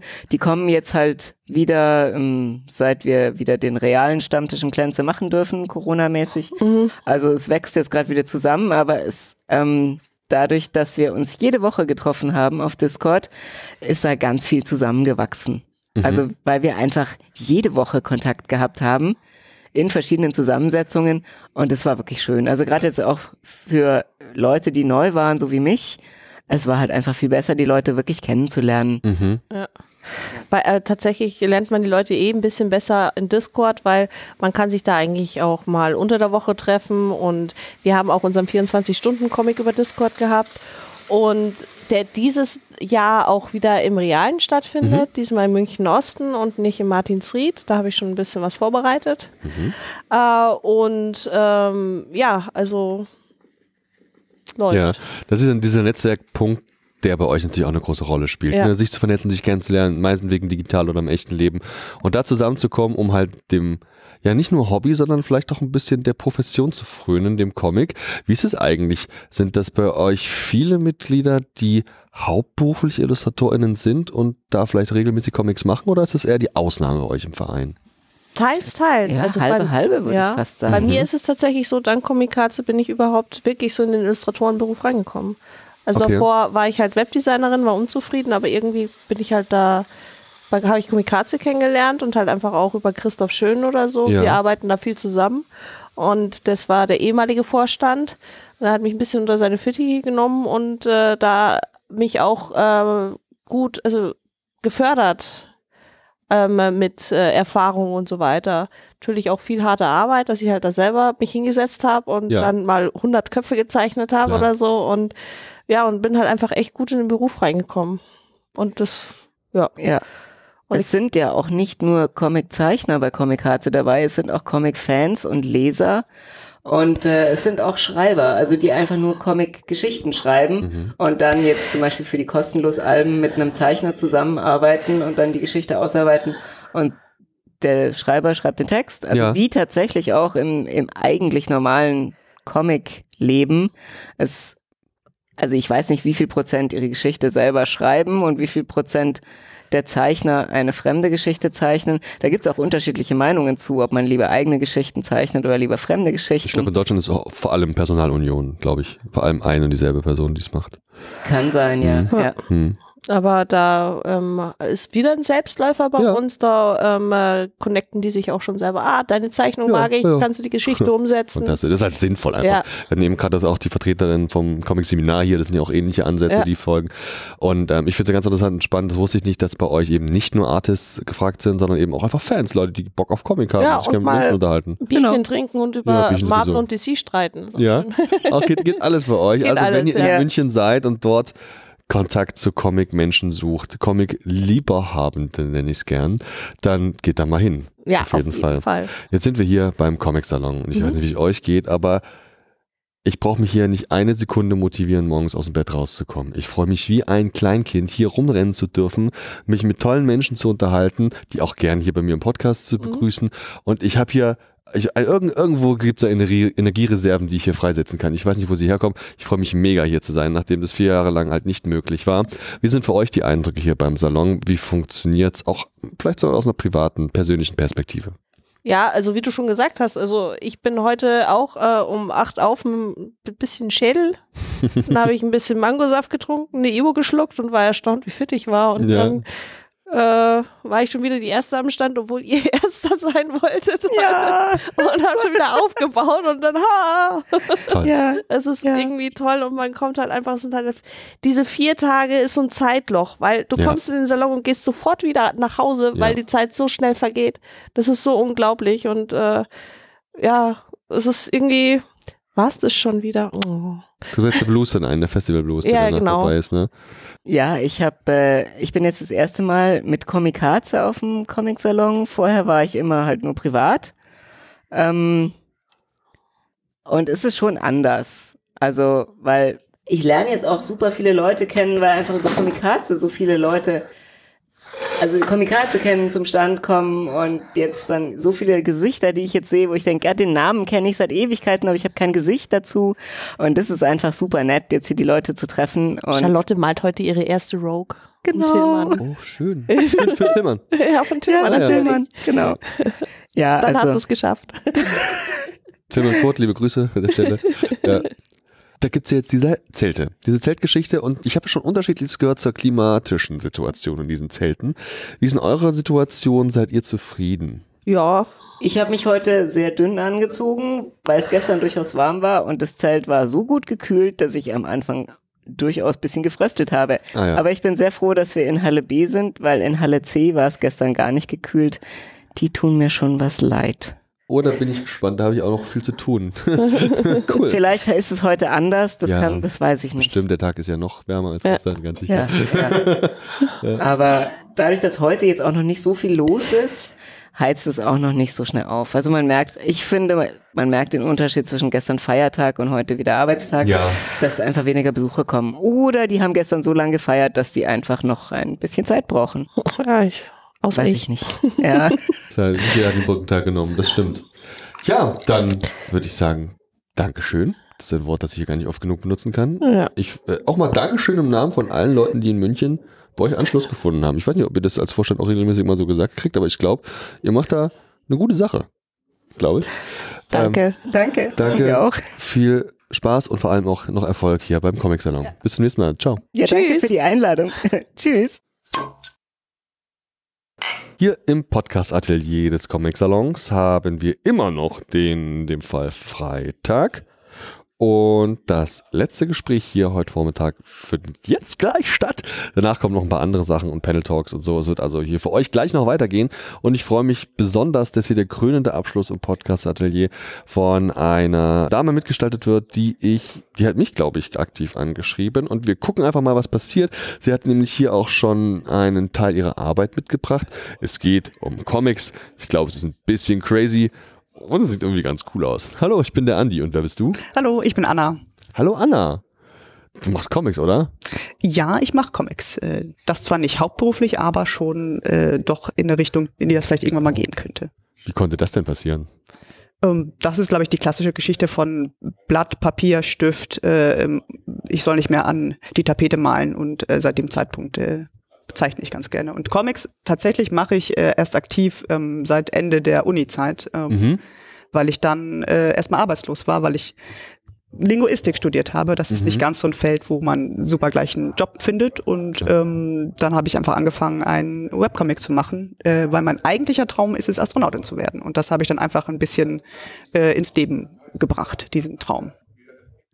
Du meintest ja gerade, dass du es mit den Comics nicht hauptberuflich machst. Bist du hauptberuflich Illustratorin oder ganz woanders unterwegs? Ganz woanders. Hauptberuflich Okay. bin ich PR-Managerin. Also Mhm. da bin ich, äh, habe auch schon äh, beim Fernsehen gearbeitet und bin halt eher so im redaktionellen Bereich äh, unterwegs. Ah ja. Okay. Und dann hat sie gedacht, Comics, Astronautin werden, das klingt schon mal verdammt spannend. Ich wollte auch mal Astronaut werden, da war ich aber nicht annähernd so alt wie heute. Erzähl mal, was ist denn aus, wie kommst du zu deinem Traum? Was ist, wie arbeitest du da dran? Ähm, das war tatsächlich die Idee, wenn, wenn nichts klappt, äh, dann werde ich Astronautin, weil mich das, das All schon immer fasziniert hat. Ja. Auch, auch alle Planeten immer gelernt und äh, alle verschiedenen Sternsystemen äh, auswendig gelernt. Ähm, Ja. Und ich finde halt an sich den Traum, irgendwann mal im All zu sein, schon immer toll und fand halt ähm, als Comic das darzustellen auch sehr schön, weil dann kann man den Traum ein bisschen ausleben. So und ähm, der Gag dabei ist es halt eher, eher so ein Slice of Life Comic, dass ich einfach täglich einen kleinen, also tagesaktuellen kleinen, nicht tagesaktuell, wöchentlichen kleinen Comic mache darüber, was mir passiert. Und manchmal kommen dann Ideen, ach, ich könnte doch doch ins All fliegen, ich mache einfach eine Keksfabrik auf, das gibt's ja noch nicht. So, das waren dann so Ideen, wie man da hinkommt, wenn man nicht äh, äh, Physik oder äh, Technik oder Fluglehrer studiert hat oder gelernt hat. Äh, es muss doch Wege geben für, für Geisteswissenschaftler ins All zu kommen. Und dann war eine Idee, man könnte Keksfabrik gründen im All. Die Kekse müssen ja auch geliefert werden. Äh, oder andere Möglichkeiten sind, dass man als Künstler ins All fliegt, weil irgendwann hat man jemand äh, Kunstwerke mit ins All genommen. Und das ist dann so die Idee, wie man alter Ego versucht, ins All zu kommen und zwischendurch dann auch noch seinen Alltag gestaltet. Ähm, weil der Traum hat noch nicht ganz geklappt. Das ist jetzt quasi Band 2 äh, ist aus den Webcomics gedruckt. Und Mhm. ähm, ja, ich, mit sehr viel Humor wird's einfach bepackt, weil man ja oft darüber spricht, was macht man nach der Uni oder nach seinem Abschluss oder äh, wo geht's, wo geht die Reise hin? Und ich dachte, da einfach mal ganz hochgreifen und das so ein bisschen humorvoll gestalten. Ja, genau, das ist das, was mir einfällt. Das ist ja offensichtlich ein Funny alles komplett in dem Stil. Also mir fallen so Worte ein wie skurril, absurd, äh, crazy, die ich benutzen möchte, um zu beschreiben, was ich hier sehe. Ist das so dein Humor, deine Denke? Bist du so eine crazy Person? das klingt jetzt schon wieder bedrohlich. Nein, auf keinen Fall bin ich crazy. Nein, ich finde schon, dass man da so, eine, so diesen etwas verqueren Humor auf jeden Fall da reinsehen kann. Man muss da schon äh, ein bisschen zwischen den Zeilen lesen. Ähm, äh, Gerade so Situationskomik kommt da auch oft vor. Ähm, das ist was, was ich halt ganz selber auch sehr lustig finde und das passiert dann einfach automatisch. Mhm. Also ich bin zum Beispiel heute Morgen fast in äh, die Glastür vom Bioladen gelaufen, weil ich äh, dachte, die Tür geht nur langsam auf, aber der war noch zu, der Laden. äh, und, äh, so- sowas kann man dann auch gut in einen Comic verpacken. Das heißt, du hast ein riesen Notizbuch oder ein Handy oder was auch immer und trägst alles ein. Es ist, das, wäre, das wäre hilfreich. Ähm, nein, ich versuche es mir zu merken. Cool, sehr gut. Klappt natürlich immer. Habe ich richtig verstanden? Einmal am Tag kommt ein, etwas? Nee, äh, einmal in der Woche war der Plan äh, mhm. ursprünglich. Ähm, das ist ein bisschen zurückgefahren, weil ich auch überlegt habe, ein bisschen qualitativ hochwertiger zu arbeiten. Das heißt, mir mehr Zeit zu nehmen. Oft am Anfang sind es jetzt mehr so skizzenhaftige Sachen, so wirklich sehr rudimentäre Grafiken und ich will ein bisschen mehr Hintergrund reinbringen später und mache jetzt so einen Zwei-Wochen-Rhythmus. Äh, also den will ich wieder starten, dass man halt so ein bisschen mehr äh, Qualität auch reinbekommt. Aber der Humor soll halt an erster Stelle stehen und, und deswegen, wenn dann ein Gag gut genug ist, dann kann man auch mal sagen, okay, kommt heute mal einer dazwischen. Ja. Wo gibt es dein Zeug? Alles auf deiner Website? Instagram, genau, alles auf der Webseite und auf Instagram bin mhm. ich. Ähm, Facebook ist tot. Äh, da gibt es aber mich auch noch. Mhm. also, hauptsächlich Instagram und auf der Webseite. Ja. Ja, prima. Wie läuft das denn? Hast du dann da auch Interaktionen mit deinem Publikum oder ist das aktuell was, wo du erstmal noch am Aufbauen bist der Community? Wie ist du deine Ja, Arbeit? ich bin da nicht super ähm, hinterher, weil das ja auch viel Arbeit ist, so Social Media Arbeit, aber ich habe auch mal angefangen äh, auf Twitch dann li live zu zeichnen. Mhm. Das würde ich auch gerne wieder machen, weil das ist dann mal so direkt. Dann kann ich auch sagen, okay, ich habe hier einen Blumenkohl, was mache ich damit? Ja. Äh, so, oder äh, welche Farbe soll der Hintergrund haben? Das fand ich eigentlich auch mal eine schöne Idee, so dass man das dann so macht. Ansonsten ist halt Instagram eigentlich mal ganz schön, sich ein bisschen auszutauschen und zu gucken, was die anderen so machen. Äh, ja, da kann man da mich ganz gut erreichen. Inspiriert vom Alltäglichen und den Dingen, die, die dir passieren. Das heißt, die Protagonisten, die wir sehen, das bist du, richtig? Ja, genau. Und gehst du auch ein Stück weit also auf tagesaktuelle Sachen ein, meinetwegen sogar politische Dinge oder andere Sachen, die dir so auffallen im gesellschaftlichen Diskurs? Ja, wenn es mich sehr beschäftigt, schon. Also ich habe ähm, auf alle Fälle auch auf äh, ein paar Sachen reagiert. Äh, jetzt nicht die aktuelle politische Lage, weil das finde ich super schwierig, wenn es mhm. dann in die Richtung Karikatur und Politik ja. geht. Ähm, aber wenn mich das betrifft ähm, oder ich halt sehr niedergeschlagen bin von der Weltrealität, dann schlägt sich das auch im Comic nieder. Dann versuche ich auch, entweder es gibt einen tröstenden Comic dann äh, oder es gibt halt doch mal etwas äh, auffordernderes, äh, äh, aber immer mit einer Prise Humor, weil das ja auch dann einfach einfacher zu ertragen ist. So, sonst wäre der Kürbis sehr, sehr düster, glaube ich, wenn man sich dann ja. damit beschäftigt. Und ins All fliegen ist ja auch ein, eine Form von ähm, weiter wegkommen von allem. Ähm, und äh, deswegen finde ich es halt schwierig, dass man das dann so aktuell darauf eingeht, aber schon, wenn es mich betrifft, dann, dann mache ich das mhm. schon. Dann, der Comic ist ja auch ein, ein Medium, wo man sich dann ausdrücken kann und sagen kann, äh, es geht mir nicht gut hier, bam, hier ist der Comic. Halleluja. Äh, ja. Du gehst ja auch einen Weg, den andere auch gegangen sind, dass du nämlich dein Produkt, das du erst online hast, deine Kunst, die es da zu finden gibt, dann letztlich auch irgendwie noch abdruckst. War das von Anfang an so geplant oder war das einfach auch ein Ergebnis meinetwegen von so Veranstaltungen wie dieser, wo es halt sinnvoll ist, was verkaufen zu können? Ja, genau. Das war genau der Weg, wie du es beschrieben hast. Eine Freundin von mir, die hat gesagt, sie ist beim Comic Salon Erlangen. Das war äh, vor sechs Jahren, glaube ich, und meinte, komm doch mit. Äh, ich so, ja, ich habe einen Webcomic. Soll ich da irgendwie einen mhm. Computer äh, hinstellen? Ja. Und so, ja, dann druck den doch. Und dann habe ich mich halt hingesetzt und auch überlegt, klar, da kann man noch ein bisschen andere Sachen machen. Das Comic-Medium funktioniert anders als Web. So, ja. da kann man ja zum Beispiel ewig scrollende Seiten machen. Das, das ist jetzt schlecht, wenn ich da so ein Ausklappding reinbaue. Ähm, mhm. obwohl, das wäre jetzt vielleicht doch eine gute Idee. Naja, äh, so man kann. Erhöht die Produktionskosten ja. kaum. Nein, ganz leichter. Aber dann war das die Idee, ach komm, dann, dann mache ich das mal und dann war das so die Idee, man kann das ja Freunden schenken oder so und dann äh, dachte ich, ach, wenn es noch andere mögen und Leute außerhalb des eigenen kleinen Dunstkreises, ja. ist es ja auch schön, weil es ja auch eine sehr kleine Nische ist, so Linguisten, die Astronauten werden wollen. Ich habe zumindest eine schon getroffen ja. in den letzten Jahren, aber vielleicht finden andere das ja auch lustig. Es geht ja auch nicht nur um Astronauten da sein. Musstest du denn dann, oder andersrum, mit du hattest ja die ersten Webcomics erstellt, dann gab es den Moment, okay, ich drucke sie halt dann doch und dann ging es natürlich weiter mit den Webcomics. Hat das dein Layout in den Webcomics irgendwie verändert, angepasst, das Wissen, dass sie dann doch irgendwann gedruckt erscheinen sollen? Jein. Also ich habe tatsächlich schon sehr klassisch immer mit einer DIN A4-Seite gearbeitet oder erst mit so den klassischen äh, Zeitungsstrips mit so vier Panels, die dann irgendwo erscheinen könnten, weil ich halt damit aufgewachsen bin. Äh, und dann kam immer mehr die DIN A4-Seite, weil sich mein Humor in fünf Panels ganz gut berechnen lässt. So vier mit Geschichte, fünf mit irgendwie noch dem der, der Pointe. Und das hat sich automatisch so ergeben. Das heißt, ich bin oft bei einer DIN A4-Seite, ja. aber ich habe auch äh, gerade fürs Web auch Ideen wie Animationen auch mal gemacht, zwischendurch so kleine GIFs oder ähm, auch wirklich dieses runterscrollen und große Pause lassen. Und also ich möchte auch mehr mit dem Medium Webcomic spielen, weil das ist ja viel vielseitiger dann zum Angucken ähm, als dann halt der Comic. Und da muss man halt irgendwie beides machen. Meistens habe ich dann noch ein bisschen mehr Arbeit, bevor der Comic dann gedruckt wird, weil ich dann wieder umdenken muss, okay, den hattest du ganz toll fürs Web gemacht, die Animation, wie kriegst du das jetzt in den Comic rein? Äh, das ist dann auch nochmal ein bisschen spannend für mich. Mhm. So cool. Ähm, das ist jetzt Teil 2 der gedruckten. Ich vermute mal, Teil 3 ist soweit, wenn genug Material vorhanden ist. Wäre schon da gewesen, das ja. habe ich noch nicht geschafft gehabt und ist auch mal der Hinweis, ich müsste es gar nicht Teil 1, 2, 3 nennen, weil die, es gibt keine Chronologie. Es ist ja. halt wirklich so Slice of Life. Es gibt einfach immer kleine abgeschlossene Geschichten. Manchmal gibt es einen roten Faden mit, dass ich wieder die Keksfabrik im All aufgreife oder sage, ach, jetzt könnte ich doch wieder Astronaut werden, jetzt gibt es doch SpaceX. So als SpaceX aufkam und die ganzen Millionäre, dachte ich, ich habe so viel Futter, wo ich jetzt was verarbeiten kann. Äh, Parallelschiene waren und okay, dann muss ich ja nur reich werden, dann kann mhm. ich ins All. Also es gibt anscheinend viele Möglichkeiten, äh, ja. die ich dann noch verarbeiten kann. Ja. Ja, erzähl mal, jetzt sind wir hier beim Comic-Salon, ne? Ganz viele tolle Menschen reden über Comics, machen Comics, sitzen rum und kennen sich und so. Wie sind denn deine Eindrücke bis jetzt vom Salon? Ich finde es super. Ich, als ich das erste Mal da war, fand ich die Atmosphäre toll, weil es, es geht ja wirklich um Comics und um die Com Comics-Künstler und Künstlerinnen. Es geht um das Medium und es ist halt keine, ähm, keine Kaufrauschmesse, wie ich es dann ja. so nenne. Es ist wirklich, man beschäftigt sich damit, man kommt auch ins Gespräch mit Leuten, die sagen, ach, was ist denn das? Äh, was machst du denn da? Äh, das ist ganz anders als bei vielleicht Messen, die mehr auf Konsum gerichtet sind, was ja auch nicht verkehrt ist. Ähm, aber hier ist so die Stimmung einfach so eine ganz kreative. Ich habe auch schon ganz viele Ideen wiederbekommen. Meine äh, Sitznachbarin hat das auch gleich gesagt. Oh, ich habe schon wieder so ganz viele Inspirationen bekommen. So gerade nach diesen zwei Jahren Corona-Mist ist man wirklich so wieder am äh, aufblühen im, im Kopf, sage ich dann immer. Also dann mhm. sind wieder Ideen da, haben wir wieder so ein bisschen Stärkung auch. Gerade wenn man nicht hauptberuflich in dem Bereich arbeitet oder noch nicht arbeiten kann, dann kriegt man einfach wieder so einen Schub. Auch wenn vielleicht der Verkauf nicht so richtig läuft, macht das gar nicht so viel, weil man dann einfach ganz viele andere Kontakte und Ideen hat oder vielleicht Connections und äh, das macht es hier wirklich sehr, sehr aus. Ähm. Toll. War das für dich eigentlich schwierig, hier Platz zu kriegen? Die Ausstellerperspektive würde mich da schon nochmal interessieren.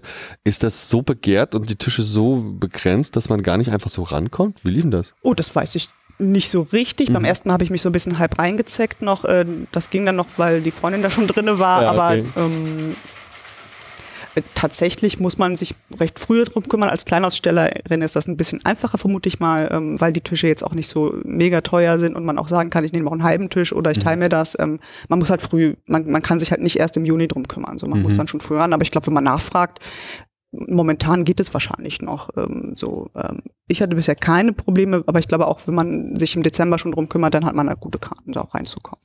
Wie ist es eigentlich, wenn du jetzt hier auf dem Salon bist, man trifft sich, es gibt eine ganze Menge auch andere ja, Cartoonisten hier und ComiczeichnerInnen, die halt auch diese eine ähnliche, sag ich mal, Veröffentlichungsweise haben wie du. Also auch ähm, regelmäßig auf Instagram und auf sonstigen Webseiten ihre Comics und Cartoons zu veröffentlichen. Äh, keine Ahnung, hier rennt rum Hermann Comics, die ich total toll finde, den jungen, den jungen Mann. Ähm, kennt ihr Illust also ihr, ihr, ihr CartoonistInnen euch untereinander alle und seid irgendwie vernetzt oder macht so jeder mehr so sein Ding?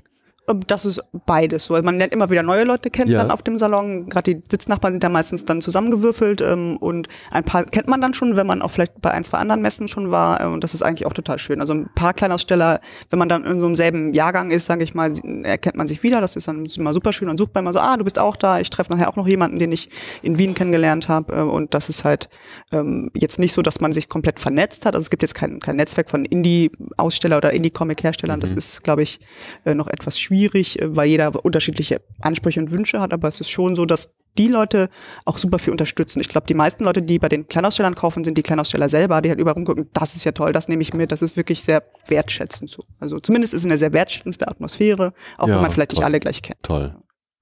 Und eine Frage noch zum Schluss, wie sieht es eigentlich aus? Platz auch mal ein längeres Projekt, ein Buch mit einer längeren Geschichte? Ja, ich würde super gerne Graphic Novel machen. Ich habe ja. eigentlich seit 20 Jahren eine Idee. Ich habe quasi schon drei Seiten gezeichnet, auch mit Tinte will ich dann arbeiten, nicht digital, ich arbeite sonst nur digital und dann würde mhm. ich gerne klassisch zeichnen in Schwarz-Weiß. Ähm, ich habe drei Seiten seit 20 Jahren mhm. äh, und ähm, einen Absatz, ähm, aber das wäre das wäre noch was. Es wäre auch was Düsteres, es wäre nichts mit Humor, es ja. wäre eine, eine, düstere Geschichte, ähm, äh, vielleicht Richtung ähm, postapokalyptisch, äh, so wirklich etwas komplett anderes als der Aha. lustige Webcomic. Aber? Ja das ist was, wo ich erst den Text machen muss und dann die Bilder. Und, und ich mal und zeichne so gerne, ich entwickle den Comic tatsächlich so, äh, ich habe eine ne Pointe und daraufhin entwickle ich den Comic. Mhm. Und meistens wird er dann am Ende anders, als ich äh, ihn mir vorgestellt habe. Aber bei einer Graphic Novel kann ich das nicht machen. Also da muss ich schon vorher zumindest äh, der Inhalt muss stehen und auch die, das Layout. So. Was hält dich ab? Der Respekt vor diesem Aufwand oder die Zeit? Beides, ja, beides. Mhm. Auf jeden Fall. Ich könnte mit dem Schreiben ja schon mal anfangen, weil das ist was, was man auch mal machen kann, ohne gleich äh, zeichnen zu müssen. Aber äh, ich denke, ich sollte mir mal so einen Zeitrahmen setzen und sagen, okay, in den nächsten fünf Jahren hast du zumindest die Hälfte fertig geschrieben oder ja. das Exposé oder ich bewerbe mich irgendwo, wo man ein Exposé hinschickt und kriege dann Geld dafür. Das wäre vielleicht auch noch eine Idee. ja, Mensch, mega. Dann danke ich dir vielmals, dass du da gewesen bist, liebe Anna. Ich wünsche dir viel Erfolg und vor allem noch eine Menge Spaß hier auf dem Comic-Salon. Ciao, bis zum nächsten Mal. Tschüss. Danke. Bye, bye. Nun sitzen wir im Pressebereich vom Comic-Salon Erlangen und unterhalten uns hier mit zwei internationalen Gästen. Die habe ich dies Jahr nicht so viele und trotzdem freue ich mich total aufs Gespräch, denn ich habe bereits zwei der Comics gelesen, an denen einer beide gemacht hat und beim anderen beide zusammengearbeitet haben. Es wird wahnsinnig faszinierend. Mal gucken, was passiert und vor allem auch, wie sich das mit dem Englisch so schlägt. So, hi, my name is Andy and who are you? Okay, so my name is Wouter Manart. I'm a Belgian cartoonist and yeah, illustrator, comic author. Uh, I'm happy to be in Erlangen. Uh huh. And I'm Max Rodriguez. I'm also a cartoonist and I'm a publisher for two different publishing companies in Belgium and France called L'Emploi du Mois and Sarbacane. Mm-hmm. And uh, yeah, and I share a studio with uh, Wouter and other cartoonists in Belgium. We already talked about Angoulême, you, the, the, the, comic festival in Angoulême right mm -hmm. there, and uh, I don't have any experience with this um, uh, festival. Can you compare it somehow for, for my audience, the pre-German audience? What are the difference between Angoulême and, and, and uh, Erlangen? It's the same, except you blow up every tent uh, tenfold, and yeah, it's like the same with 100% more. Mm-hmm. I'm always wondering what, what, what languages are they talking in Angoulême? For me, one of the barriers going there, especially the language barrier I have, um, do I have the opportunity to get uh, to talk to people in English? Yeah, yeah, there is the most. Okay, it's it's, oh. it's France, of course, but mm-hmm. there are a lot of uh, international publishers, really, uh, and also I think uh, most of the publishers they do speak English. Yeah, yeah most French people speak English. Yeah. Mm-hmm. very in a very bad way usually, but they speak. Me English. too. no problem. And uh, but, but, to to conclude, yeah, the, the formula is exactly the same. Eh? There mm-hmm. is uh, all over the city. The whole city is transformed into a, a comics paradise, and you have uh, exhibitions everywhere, talks everywhere, uh, and then the the tents with the publishers. It's exactly the same that in Erlangen, but mm-hmm. and it's also a small town where there's schools, but except that there's not a lot of things happening during the year. Mm-hmm. So yeah, the comics coming into town is like the big event. Yeah, so every every shop has some comic uh, uh-huh. decoration in the in the window and stuff. So yeah, are you into this festival game? Uh, uh, visiting all of them, going there as, as artists, and uh, are you going everywhere you could in Europe? Uh, I used to go everywhere I could um, in the beginning because mm-hmm. that was really I wanted to see everything and I wanted my book to succeed. And I thought if I would go everywhere, it would help it. Mm-hmm. Uh, now that I have children and that I'm a bit older, I only go to the places that I'm really curious to see and also to a place where I know tons of people will be there. Mm-hmm. So yeah, it's mostly like you want to reconnect with people. Actually, it's funny because we met in Angoulême. And we both live in Brussels in the same city, yeah. but we had to meet in Angoulême. Quite shameful. um, no, yeah, it's just a nice opportunity to see people, to meet people. Uh, so you have to do it, but doing in a mall is quite impossible, I think. yeah, in France, there's like a festival every weekend. You can be, ah, I got it. You can be on full the road. time. Yeah, you can be on the road for a month if you want. Mm-hmm. But yeah, it's very tiring and so. And right in here, right now, you're publishing, uh, licensing here at Reproduct Publisher. Um, several stuff, different mm-hmm. stuff, lots of um, mm-hmm. comics from, we can buy from you. And two, I read two of them, especially Ouija, something the bo- both of you worked on. Yeah. In your words, what is Ouija all about? Um, so Ouija is a photographer from New York in uh, the 40s, and he's a very special character because you kind of love him and hate him at the same time. He's a very sweet asshole. You, you know, there's something very touching about him, but he's also doing all those stuff. You're like, what? No, you cannot do that. And one of his big thing was that he was taking pictures of um, crime scenes. Mm-hmm. So that's what he's most famous for.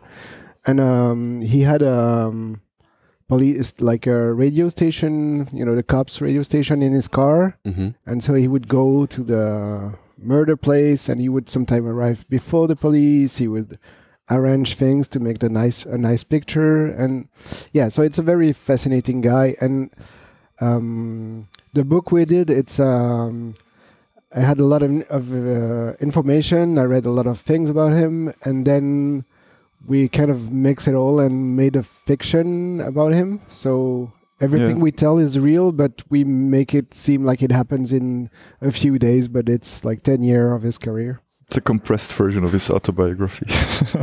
Would you say he's some kind because he's not a bad guy? Is, would you say he's some kind of anti-hero?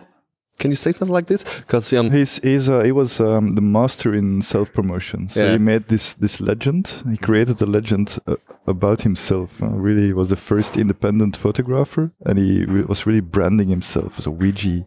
Yeah. already that's a pseudonym, and and. Um, uh, Yeah, he, he had a, he had a stamp he would put on his picture, and it was the glory Ouija the, Ouija the famous. the famous, yeah. Voilà.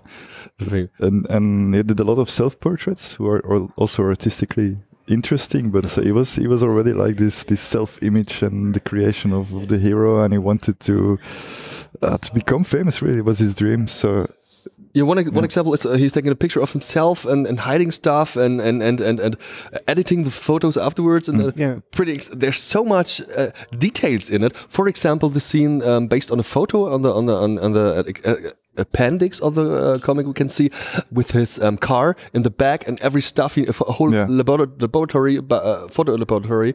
Um, with everything he needs, and that's so interesting for me to yeah, see. yeah, he could be at a crime scene and half an hour later have the picture t- brought to the newspaper. Like he had errands boy that would be running for him, and yeah, it was needed also because there was a lot of competition between photographers and you really had to arrive first at the, at the newspaper to sell your pictures and so it was like a, a game and he, there is anecdotes where he like he rented a, an um, ambulance am, ambulance you Yeah. know, Ambulance, to, that's right, yeah, yeah. ambulance to to do it like uh, to, to arrive somewhere and to, to be able to take pictures and then to, to go back by metro and, and developing the photographs in, under his jacket in the metro and stuff. it's, like, it's crazy anecdotes.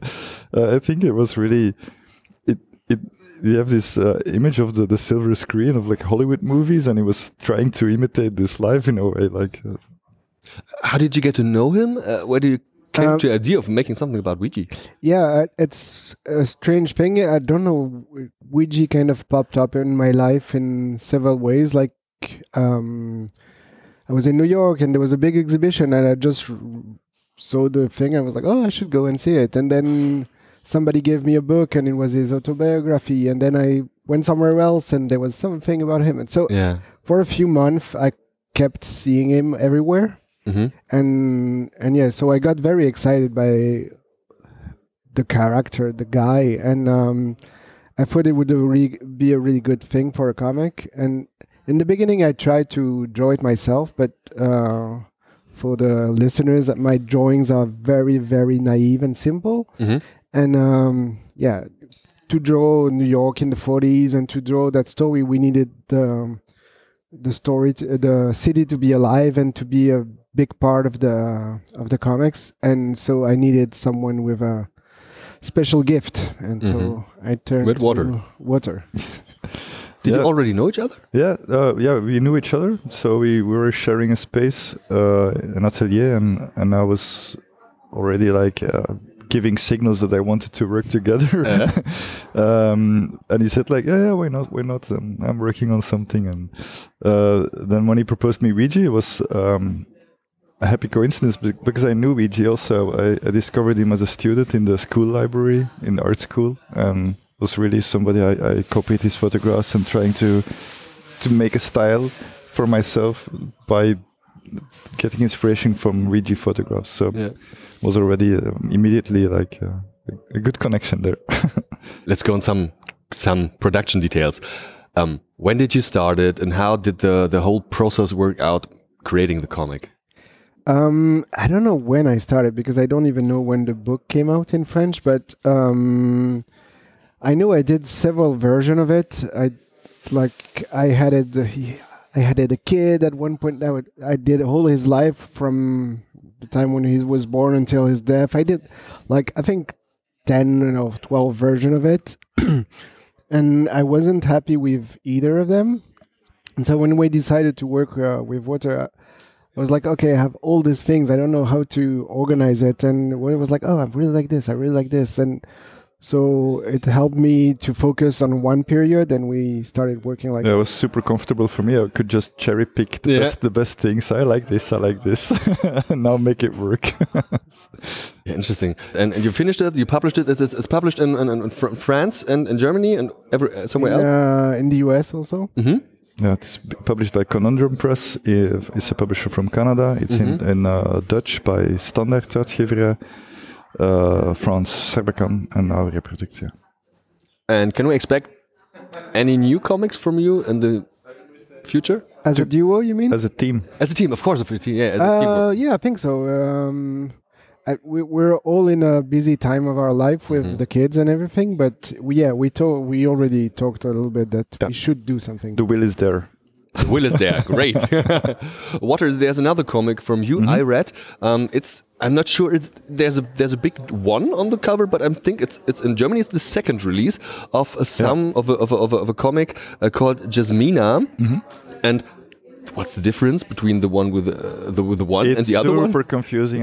I'm, sorry about it, but it's just like there was Jasmina, uh, die Kartoffelkrise, Uh-huh. which was the. Um, uh, it's like yeah, it's a graphic novel for kids and families. Yeah. With Jasmina as a character.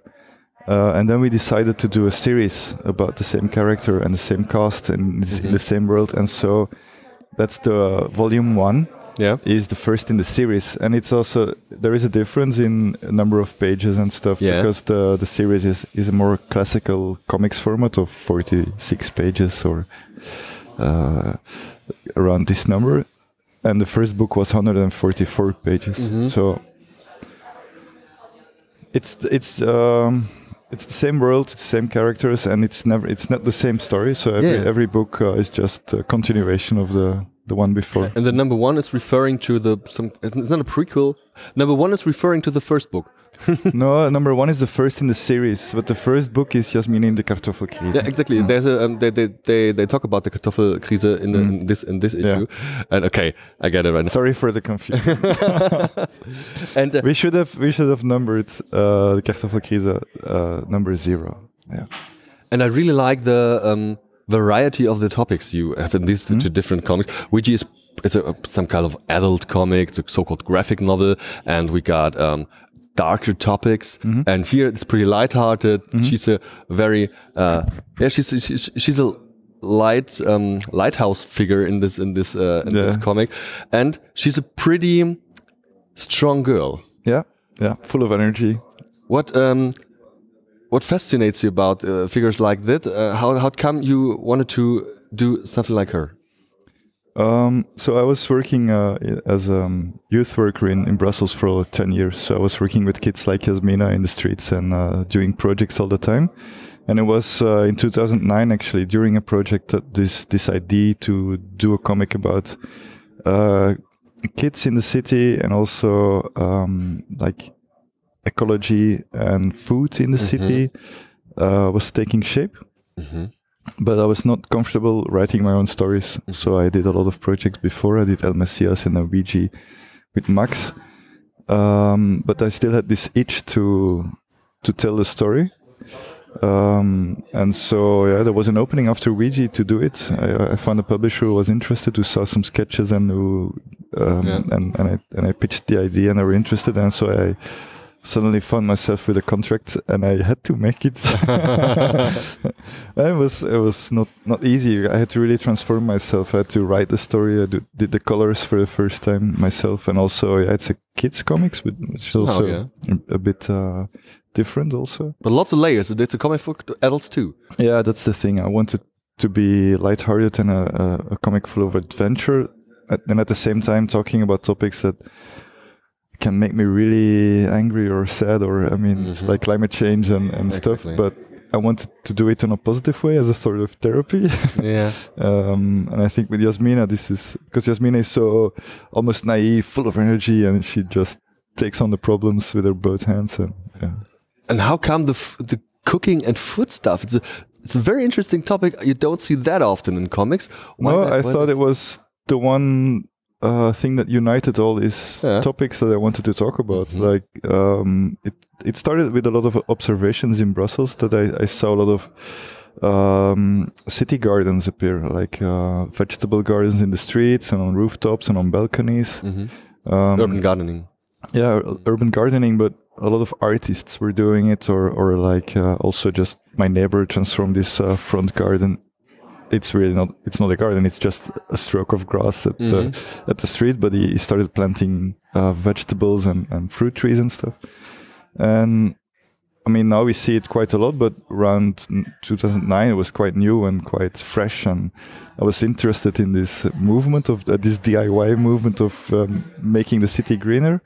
And i started reflecting on why people were doing this. And of course um, i mean plenty of reasons but you have climate change you have uh, ecological reasons, like why should our food come from New Zealand and uh, yeah, stuff like this. And so in Brussels, for instance, there is now uh, uh, an urban farm on a on a rooftop, and it's one of the biggest um, aquaponics uh, in. So it's um, they cultivate fish and vegetables in in, in a farm. So there was this movement, and I started reflecting uh, why this was happening, and I thought this is really something yeah. I want to talk about, but in a lighthearted way. So, yeah. and what does your audience say about it? Is uh, are there lots of young girls reading your stuff? Yeah, the reactions are great because yeah, of course, Belgium and Brussels is a very diverse uh, country, and so I also decided to. I mean, the character is named Yasmina, so to to mm -hmm. use a, a, typically Brussels girl, um, and I, I had the feeling this was really missing in Flanders, especially mm-hmm. characters like this. Um, all the comics characters are blonde and, and yeah, white. They are. So, and of course, I go a lot to schools and stuff, and I really like how they respond to it. They're really, I'm called Yasmina. Wow, my sister is Yasmina. yeah. Great. Mm. Well, there's a lot more to discover. You have uh, Stig and Tilde and yeah, there's uh, free books that are published by Reproductude. It's mm-hmm. also a kind of young adult. Uh, Stig and Till. Hmm? Stig and Till, yeah. Mm-hmm. And um, it's about kids that are turning 14 and they live in a small village on a on the edge of a big lake and w- there was a tradition in that village that kids would go for one year to mm-hmm. live on the lake and when they come back they would be considered as grown-ups by mm-hmm. the community and so the story happens today and they don't do that anymore of course yeah. but they send every kid on a small island on the lake where they have uh, internet and food and everything but they are without grown-ups so they spend a, mm-hmm. a month without grown-ups and it's kind of a tradition and of course everything goes wrong oh, it's all about party all about partying uh, no it's mostly about uh, going wrong. going wrong. there's ghost. There's tons of things. So it's um, what's the audience? It's Pre for for, for teenage stars. So yeah, I think it's like uh, nine till young twenties. So uh, yeah. Great, and we can find your books on Reproduction in Germany right yeah. now. Max Water, thank you very very much for your time you. and especially for your comics i really like them and i wish you the best and lots of success here, success here at the salon okay thanks thanks see you bye bye endlich frische Luft. Wir haben uns in den vermutlich schönsten Ort gesetzt, den es hier beim Comic Festival gibt, mit Blick auf einen Brunnen im Schlossgarten. Um uns herum ganz viele bunte Blümchen und es ist ein Träumchen, endlich mal woanders zu sitzen als in diesem Kapuff, das wunderschön ist, aber natürlich ein bisschen stickig bei gefühlten 90 Grad im Schatten. Jetzt sitzen wir hier und, und wollen uns natürlich über Comics unterhalten. Ich habe eine Künstlerin am Start, die hat schon verschiedenste Sachen gemacht. Ich habe schon viel Gutes davon gehört. Unter anderem gibt es ein sehr empfehlenswertes Interview vom Tillmann Court bei Ausgefragt, das Magazin vom Comic Talk. Mega nice und wir wollen mal schauen, in welche Richtung unser Gespräch heute geht. Hallo, ich bin der Andi und wer bist du? Hallo, ich bin Josephine. Hallo Josephine. Mensch, du machst Comics, oder? Ja, ja, deswegen bin ich hier. Wie konnte das denn passieren? Wie, also erzähl mal ein bisschen zu deinem Werdegang. Das würde mich ah, freuen. Ja, also die Comics äh, sind tatsächlich relativ kurzfristig äh, dazugekommen. Ich habe eigentlich ganz, ganz lange äh, Cartoons gemacht, mhm. so für 10, 12 Jahre und habe dann so ein Stück für Stück immer mehr Bilder dazugefügt Und äh, dadurch halt bin ich ein bisschen mehr in diese sequenzielles Erzählen ge gegangen und habe jetzt äh, letztes Jahr mein allererstes äh, Buch raus, also Comicbuch rausgebracht. Beim Zwerchfell Verlag Beim war das? Zwerchfell Verlag, Mhm. der Moor, genau. Mega. Und du bist ja unter anderem auch beim Comic-Seminar gewesen, ne? Mhm. wo du den Ralf König kennengelernt hast. Da hatten wir von den Ralf im Gespräch, der hat auch ausgiebig erzählt vom Seminar. Vielleicht kannst du noch mal so ein bisschen deine Eindrücke schildern. Wie war es denn für dich? Ja, genau. Also das Seminar ist tatsächlich äh, die Instanz für meine komplette Laufbahn als Comiczeichnerin. Also ich Mhm. habe äh, bisher sämtliche Bücher, also Comicbücher, die ich gemacht habe, äh, entweder im Seminar angefangen oder weitergeführt. Ähm, das war bei Moore auch so. Also das war 2017 habe ich das äh, unter der Leitung von Flix und Birgit Weyer äh, äh, gemacht, genau. Und dann 2019 jetzt äh, bei äh, Ralf König und Birgit Weyer den Trip mit Tropf, äh, an, also das Mhm. Skript quasi dort geschrieben. Sind da so die ersten Gedankengänge quasi entstanden oder bist du schon mit einer fertigen Idee da angereist?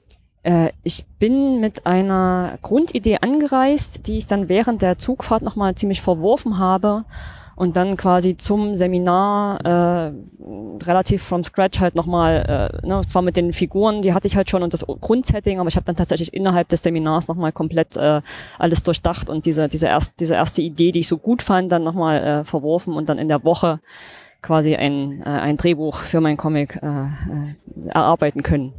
Genau. Ich würde mal behaupten, dass du mit deinen Comics nicht nur, wie du im Interview mit Tillmann gesagt hattest, verschiedene Genres ausprobierst, sondern auch natürlich unterschiedliche Zielgruppen auch ansprichst dann damit. Warum diese Herausforderung, die du dir selbst stellst? Also die Zielgruppe habe ich überhaupt nicht im Hinterkopf, muss Mhm. ich gestehen. Ich bin wirklich, ähm, was das angeht, ähm, relativ frei, was, was glaube ich, äh, ein großer eine, eine große Gnade ist, die ich da irgendwie äh, erfahre. Also ich, ich mache quasi keine, keine Auftragscomics in dem Sinne, sondern das, was ich halt mache, ist wirklich nur meine Ideen äh, äh, rausbringen. Dadurch brauche ich nicht an Zielgruppenmarketing oder Verkaufszahlen denken, sondern denken, es ist schon Toll. schlimm genug, dieses, äh, dieses Buch halt fertig zu bekommen. Äh, genau, und kurzes Foto zwischendurch. ähm, äh, ja, also die Zielgruppe ist wie gesagt nicht, nicht präsent, wenn ich das mache. Äh, Es ist tatsächlich eher so dieses Genre, äh, was, was ich voranstelle und das liegt halt daran, es gibt halt einfach Genre, die ich gerne mag, also die ich Mhm. gerne als äh, Serie, Film, in irgendein, also welches Medium auch immer konsumiere und die, die mich so ganz doll äh, beschäftigen und abholen, wo ich halt denke, so, ah ja, das ist wieder so ein Film aus Ne, das, Ja. Oder irgendwas und das, ne, das ist dann einfach so, dass ich, ich mag einfach bestimmte äh, äh, Genre im Literatur oder, oder Film und habe dann einfach auch das Bedürfnis, das mal auszuprobieren. Mhm. Und es ist natürlich äh, immer schwierig, wenn man so ein so ein Buch geschrieben hat, gerade wenn es so die ersten drei sind wahrscheinlich die schwierigsten, wenn man noch so ein bisschen in der Findungsphase ist. Man wird dann immer verglichen mit dem vorhergehenden und hm, muss dann irgendwie immer eins draufsetzen.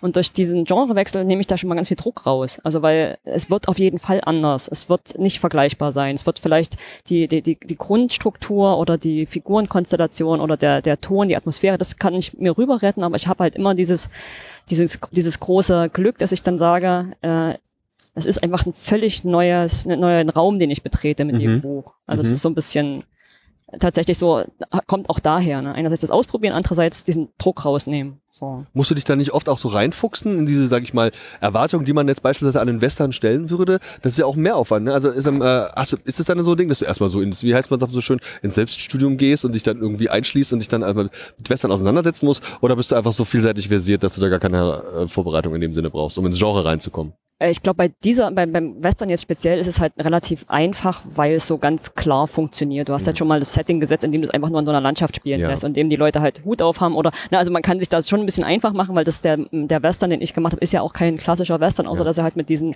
Archetypen arbeitet Ja. und danach entferne ich mich ja ganz absichtlich von diesem Genre. Das ist halt das nächste. Ich möchte halt eigentlich keine Genre-Comics in dem Sinne machen, dass ich dann auch nur Stereotype und schon erzählte Geschichten mache, sondern dass ich halt trotzdem dann mich dort reinbringe mit diesem Dreh am Ende, der halt irgendwie dann doch wieder meine Geschichte äh, ist und äh, das Genre quasi nur, wie gesagt, dieser Raum ist, der halt ein bisschen anders dekoriert ist und halt mit so ein paar ähm, äh, mit so ein paar Sachen arbeitet, die, ähm, die dann die Leser auch wieder erkennen. Ähm, genau, und das ähm, war dann halt bei Trip genauso. Ne? Das ist ein Road-Movie eigentlich Ja. in der Anlehnung. Dann habe ich halt genau geguckt, was sind denn diese typischen Elemente von einem Road-Movie, was muss auf jeden Fall rein, was gibt es so für typische Schwierigkeiten, Locations und das, damit kann man dann spielen und kann das dann halt benutzen, um da was anderes draus zu machen. Mhm. Und schließt es eigentlich aus, dass wir von den jeweiligen Werken eine Fortsetzung sehen könnten? Ähm, das behalte ich mir vor, aber ich äh, behalte mir dann auch den Genrewechsel vor. Also Ja, es kann so. sein, dass ich dann einfach Figuren zum Beispiel woanders. Genau, es kann dann sein, dass man dann irgendwie eine Vorgeschichte von, von einer Figur vielleicht erfährt und die dann aber in einem, in einem völlig anderen Kontext. Ähm, Space Adventure und dann ist ein Nachfahre von dem Cowboy sowas. Sowas, oder Ja. ja, genau. Also das, ne, das, das, das, das würde ich jetzt nicht ausschließen, dass ich halt, oder dass, dass wenn ich jetzt äh, ne, ne, einen Prequel einfach mache und dann sage, okay, äh, es ist dann aber äh, ein, ein, ein Horror. Ja. So, das, das ist ja auch das Schöne, dass man halt, ne, und die Figuren sehen bei mir ja auch, ich habe ja immer so ein Set von Figuren, mit dem ich arbeite, weil das in meinem Kopf sind das einfach meine Schauspieler, die ich dann immer wieder caste. Ähm, so, Toll. ne, dass das, ähm, also das kann wirklich sein, dass dann diese ganzen Easter Eggs, die ich gar nicht absichtlich reinmache, sondern einfach, weil ich dieses Set einfach immer wieder gerne benutze und es gibt Figuren, die sind mir so ins Herz gewachsen, die will ich auf jeden Fall nochmal haben, aber in einer anderen Rolle. Mhm. Die haben dann einfach einen anderen, äh, ne, so, wahrscheinlich nicht so wirklich Typecasting, aber ich versuche die dann einfach ne, so. Also das gucke ich mal. Ich habe da jetzt ähm, irgendwie Lust Ja. drauf. Faszinierend. Jetzt habe ich bestimmt mein, mein geheime, meine geheime Rezeptur Das verraten. war der Trick für den Erfolg, da ist er. Und Trip mit Tropf ist ja jetzt erschienen beim Kiebitz Verlag, ein junger, moderner, aufstrebender Kindercomic-Verlag. Wie ist so die Zusammenarbeit im Vergleich mit den Jungs von Zwerchfell? Auch ein, ein vielleicht vergleichbar großer, aber schon ein bisschen erfahrener Verlag. Kannst du da so ein bisschen Vergleiche ziehen für uns Laien, der wir natürlich von dieser KünstlerInnenperspektive jetzt nicht kommen? Äh, ich überlege gerade, ich glaube, also die, die Gemeinsamkeit ist ja wirklich, ne, das sind halt, äh, oder das bezeichnen sich halt selber auch als Kleinverlager. Ich weiß gar nicht, was da die, ab welcher, bei welcher Schwelle man das dann nicht mehr ist. Genau, also die, die Nähe zum, zum äh, Verleger ist auf jeden Fall bei beiden gegeben. Das ist total großartig. Äh, die Zwerchis sind natürlich, die, da braucht man, die brauchen echt lange, bis sie mal auf eine E-Mail antworten. Das haben sie mir auch direkt so gesagt. Und wenn man äh, ein. Mensch ist, der ein Mensch ist, der halt äh, eher mit einem nicht so 100% äh, stabilen Selbstbewusstsein ausgestattet ist, da sich mit dem Buch zu bewerben, ist schon hart. Aber äh, sie haben mir das halt im Vorfeld gesagt. Ich habe die beiden halt äh, mal in, in Leipzig auf einer sehr schönen kleinen Comic-Convention kennengelernt und wir haben einfach ne, so, so einen guten Draht zueinander gehabt und dadurch ist das alles äh, gut gewesen. Ich habe mich dann trotzdem getraut, das nochmal zu machen, musste aber wirklich auch da nochmal mehrfach nachhaken. Mhm. Und äh, genau, und das als konkretes Beispiel bei den äh, äh, äh, Micha und Sebastian von Kiebitz war das halt nicht so. Ne? Die, die sind wirklich, die, die antworten sofort und sind total äh, emsig und äh, rufen auch mal zwischendurch an und das ist alles, also da allein schon die Kommunikation ist äh, sehr unterschiedlich. Von daher kann ich immer nur sagen, man muss dann, äh, glaube ich, sich trauen auch Ja. ne? und den, den äh, Comic-Schaffenden auch mal ein bisschen äh, hinterherlaufen, weil das ist ja bei Zweischwert, so, die machen ja selber auch Comics oder Mhm. zumindest der äh, Christopher. Ja. Äh, und von daher dranbleiben. Also fühlst du dich dann auch bei beiden auch künstlerisch gleich gewertschätzt, wenn du sagst, der Christopher, der macht ja eben, wie du sagst, Comics, kann da vielleicht auch auf dieser Ebene vielleicht mehr noch Hinweise, Tipps, gibt es überhaupt noch eine Interaktion im Erstellungsprozess? Das ist vielleicht eine spannende Frage noch auch, ähm, wenn du jetzt quasi im Boot äh, sitzt, des, in dem Fall Zwerchfell oder Kiebitz Verlags, dann ist das Produkt ja noch nicht fertig, der Comic ist ja noch nicht entstanden Mhm. und Gibt es da dann noch so Feedback irgendwie, so von jeweiligen Verlagen? Also ich glaube, wenn ich das, äh, wenn ich äh, das Bedürfnis gehabt hätte, hätte ich wahrscheinlich ähm, von beiden Ah. da sehr, Mhm. ne, also, also bei, bei, bei Moore war das jetzt so, der, der war, auf, war einfach so, so eine runde Sache und die fanden das halt genauso gut und haben auch gemeint, eigentlich wollen sie ihren Autoren auch gar nicht so reinreden. Aber wenn ich jetzt gesagt hätte, passt mal auf, da bin ich unsicher, funktioniert, mhm, dann hätte ich da auf jeden Fall, äh, bin ich mir sehr sicher, auch die entsprechende äh, fach, fachkundliche äh, Unterstützung bekommen. Und bei Kiebitz war das genauso. Also da war halt äh, auch wenig rumzumäkeln am, am, am Werk, aber ich bin mir sicher, wenn das irgendwie äh, von meiner Seite aus gefragt worden wäre oder wenn es nötig gewesen wäre, dann, ne, dann wäre da auf jeden Fall noch eine, eine Lektoren, äh, ein Lektorendurchlauf dann au- auch passiert. Also das ist ja das Schöne. Die, die Qualität ist ja nicht geringer, nur weil das kleine Verlage sind mit, mit wenigen Ja, genau, Büchern klar. pro Jahr. Ne? Ja, also äh, das ist wahrscheinlich sogar noch ein bisschen äh, äh, besser dann wahrscheinlich so, weil ähm, bei so großen Verlagen geht man ja auch schnell mal unter als Autor, Schrägstrich Autorin. Ähm, und wird dann vielleicht auch über eine Zielgruppe so ein bisschen drüber gebügelt und das, ähm, keine Ahnung, ist jetzt nicht, ich bin nicht bei einem großen Verlag, aber so stelle ich mir das halt vor, weil ich das äh, als sehr, sehr äh, ähm, angenehm empfinde, einfach in so einem kleinen Verlag verlegt zu werden. Trip und Tropf erscheint, wie gesagt, beim Kibitz Verlag. Die machen offiziell Kindercomics, also würde ich vermuten, dass es auch ein Kindercomic ist. Sicherlich mit mehreren Ebenen, der auch mehrere Menschen anspricht. Was ist denn deines Erachtens die Herausforderung darin, einen Kindercomic zu erstellen? Das ist ja sicher anders zu handwerken als jetzt so ein genreliebendes Publikum. Hm, Also wie gesagt, ich habe die Zielgruppe nicht im Hinterkopf. Ja. Ich habe jetzt auch keinen Kindercomic von aus bewusst. meiner bewusst okay. geschrieben. Ich glaube, hätte ich das gemacht oder hätte ich gedacht, ich mache einen Kindercomic, dann hätte ich mir bestimmte Sachen nicht getraut. Mhm. Ähm, also ne, dieser Wolf, der flucht halt ziemlich. Es wird, es ist halt auch, es wird ein bisschen blutig an einigen Stellen und ne, ich habe halt, ich habe halt einfach keine, ich bin nicht mit Handbremse gefahren. Das hätte ich wahrscheinlich, ähm, hätte ich Kinder als Zielgruppe gehabt, so ein bisschen ge gemacht, weil ich mhm. dann wahrscheinlich den Verleger mitgedacht ja. hätte. Und von daher bin ich sehr froh, dass das einfach, äh, dass ich das Buch geschrieben habe, ohne zu wissen, wo das veröffentlicht wird. Und ich glaube, das ist auch was, was ich in Zukunft weiter so handhaben würde. Wenn die Geschichte dann für Kinder funktioniert und äh, gesagt wird, dass ne, auch wenn das ein bisschen drüber ist und wenn das vielleicht nicht für für äh, für jedes Kind so äh, fu funktioniert, ne, aber trotzdem äh, machen wir das ja. so ist für mich einfach als Autorin total schön, weil ich hab, bin so schon gestresst genug mit meinen eigenen Ansprüchen, mit ne, den, dem Technik und so weiter. Wenn ich jetzt auch noch überlegen muss, was die Marketingabteilung sich. Mhm. Äh, nee, nee, nee, klar, nee, nee. Also bist ja, Künstlerin genau. schlecht. Also erstmal, ja, bitte, ja. Also, das ist nicht das Thema. also von daher, das, davon mache ich oder versuche ich mich frei zu machen. Ja. Also wirklich. Finde ich super. Ist, ist, ist richtig einfach, so. aber ja. Okay. So.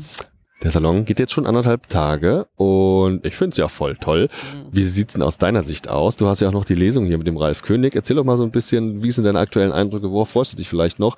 Oder hast du gar keinen Kopf, weil so viel Stress und Signiertermine und die Leute kaufen dir alles weg? Also ich glaube, ich habe alle meine Nervenzusammenbrüche schon abgehakt, die jetzt so mhm. nötig waren. Ich bin ja auch schon eine Woche länger hier gewesen, weil ja. davor dieses Seminar ja. noch war, das Comiczeichenseminar, was mega anstrengend ist, weil man irgendwie gefühlt zehn Stunden, zwölf Stunden am Tag durchzieht und dann direkt hier in dieses äh, Gewusel und ganz viel neuer Input und so und das ist total schön. Ähm, bin aber auch echt ganz schön durch, jetzt schon. Mhm. ähm, genau, aber freue mich halt, äh, also es sind so ein paar Sachen, die ich, also die Ausstellung, es gibt einfach ein paar total schöne Ausstellungen hier, die äh, von Birgit Weihe, ne, diese Werkschau, das ist absolut großartig geworden und auch die äh, Gung-Ho-Ausstellung. Mhm. Da gucke ich mir auch noch ganz viel an jetzt. Und so ein paar Panels. Genau, und dann äh, muss ich aber gen genau das, was du sagst, ich muss halt ein bisschen darauf achten, dass ich dann für die eigenen Termine halt auch noch genug Kraft habe. Ne? Ich bin nicht nur Comic-Fan gerade hier, sondern muss dann auch immer noch gucken, das dass, Ding, ich, ja.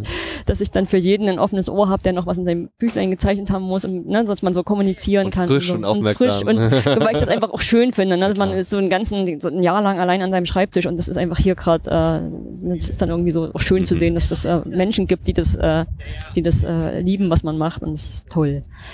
Ja, und halt dann, wie gesagt, die Kraft für die Lesung am Samstag aufsparen, weil das ist auch nochmal so ein Riesending. Da, Musstet ihr das irgendwie vorher üben oder so? Wir hätten das bestimmt mal vorher üben sollen. Also wir haben, äh, wir stehen im E-Mail-Kontakt und äh, Ralf war aber leider vorher noch in, äh, in Lyon.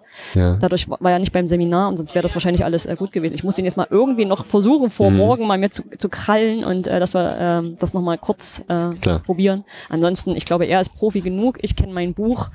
Ähm, das ist wahrscheinlich eine Konstellation, wo man auch sagen kann, mal Wird gucken, schon. welche Magie auf der Bühne ja, passiert. Ist ja auch Profi und du auch insofern. Ne? Ja, ich habe nicht so viel Leseerfahrung und auch nicht, äh, nicht so, ich bin, also Ralf ist einfach so unfassbar großartig in diesen Lesungen und auch als, mhm. ne, als Autor und äh, als Mensch bin einfach ganz, ganz großer Fan Prima. von diesem äh, Komplettkunstwerk Ralf König.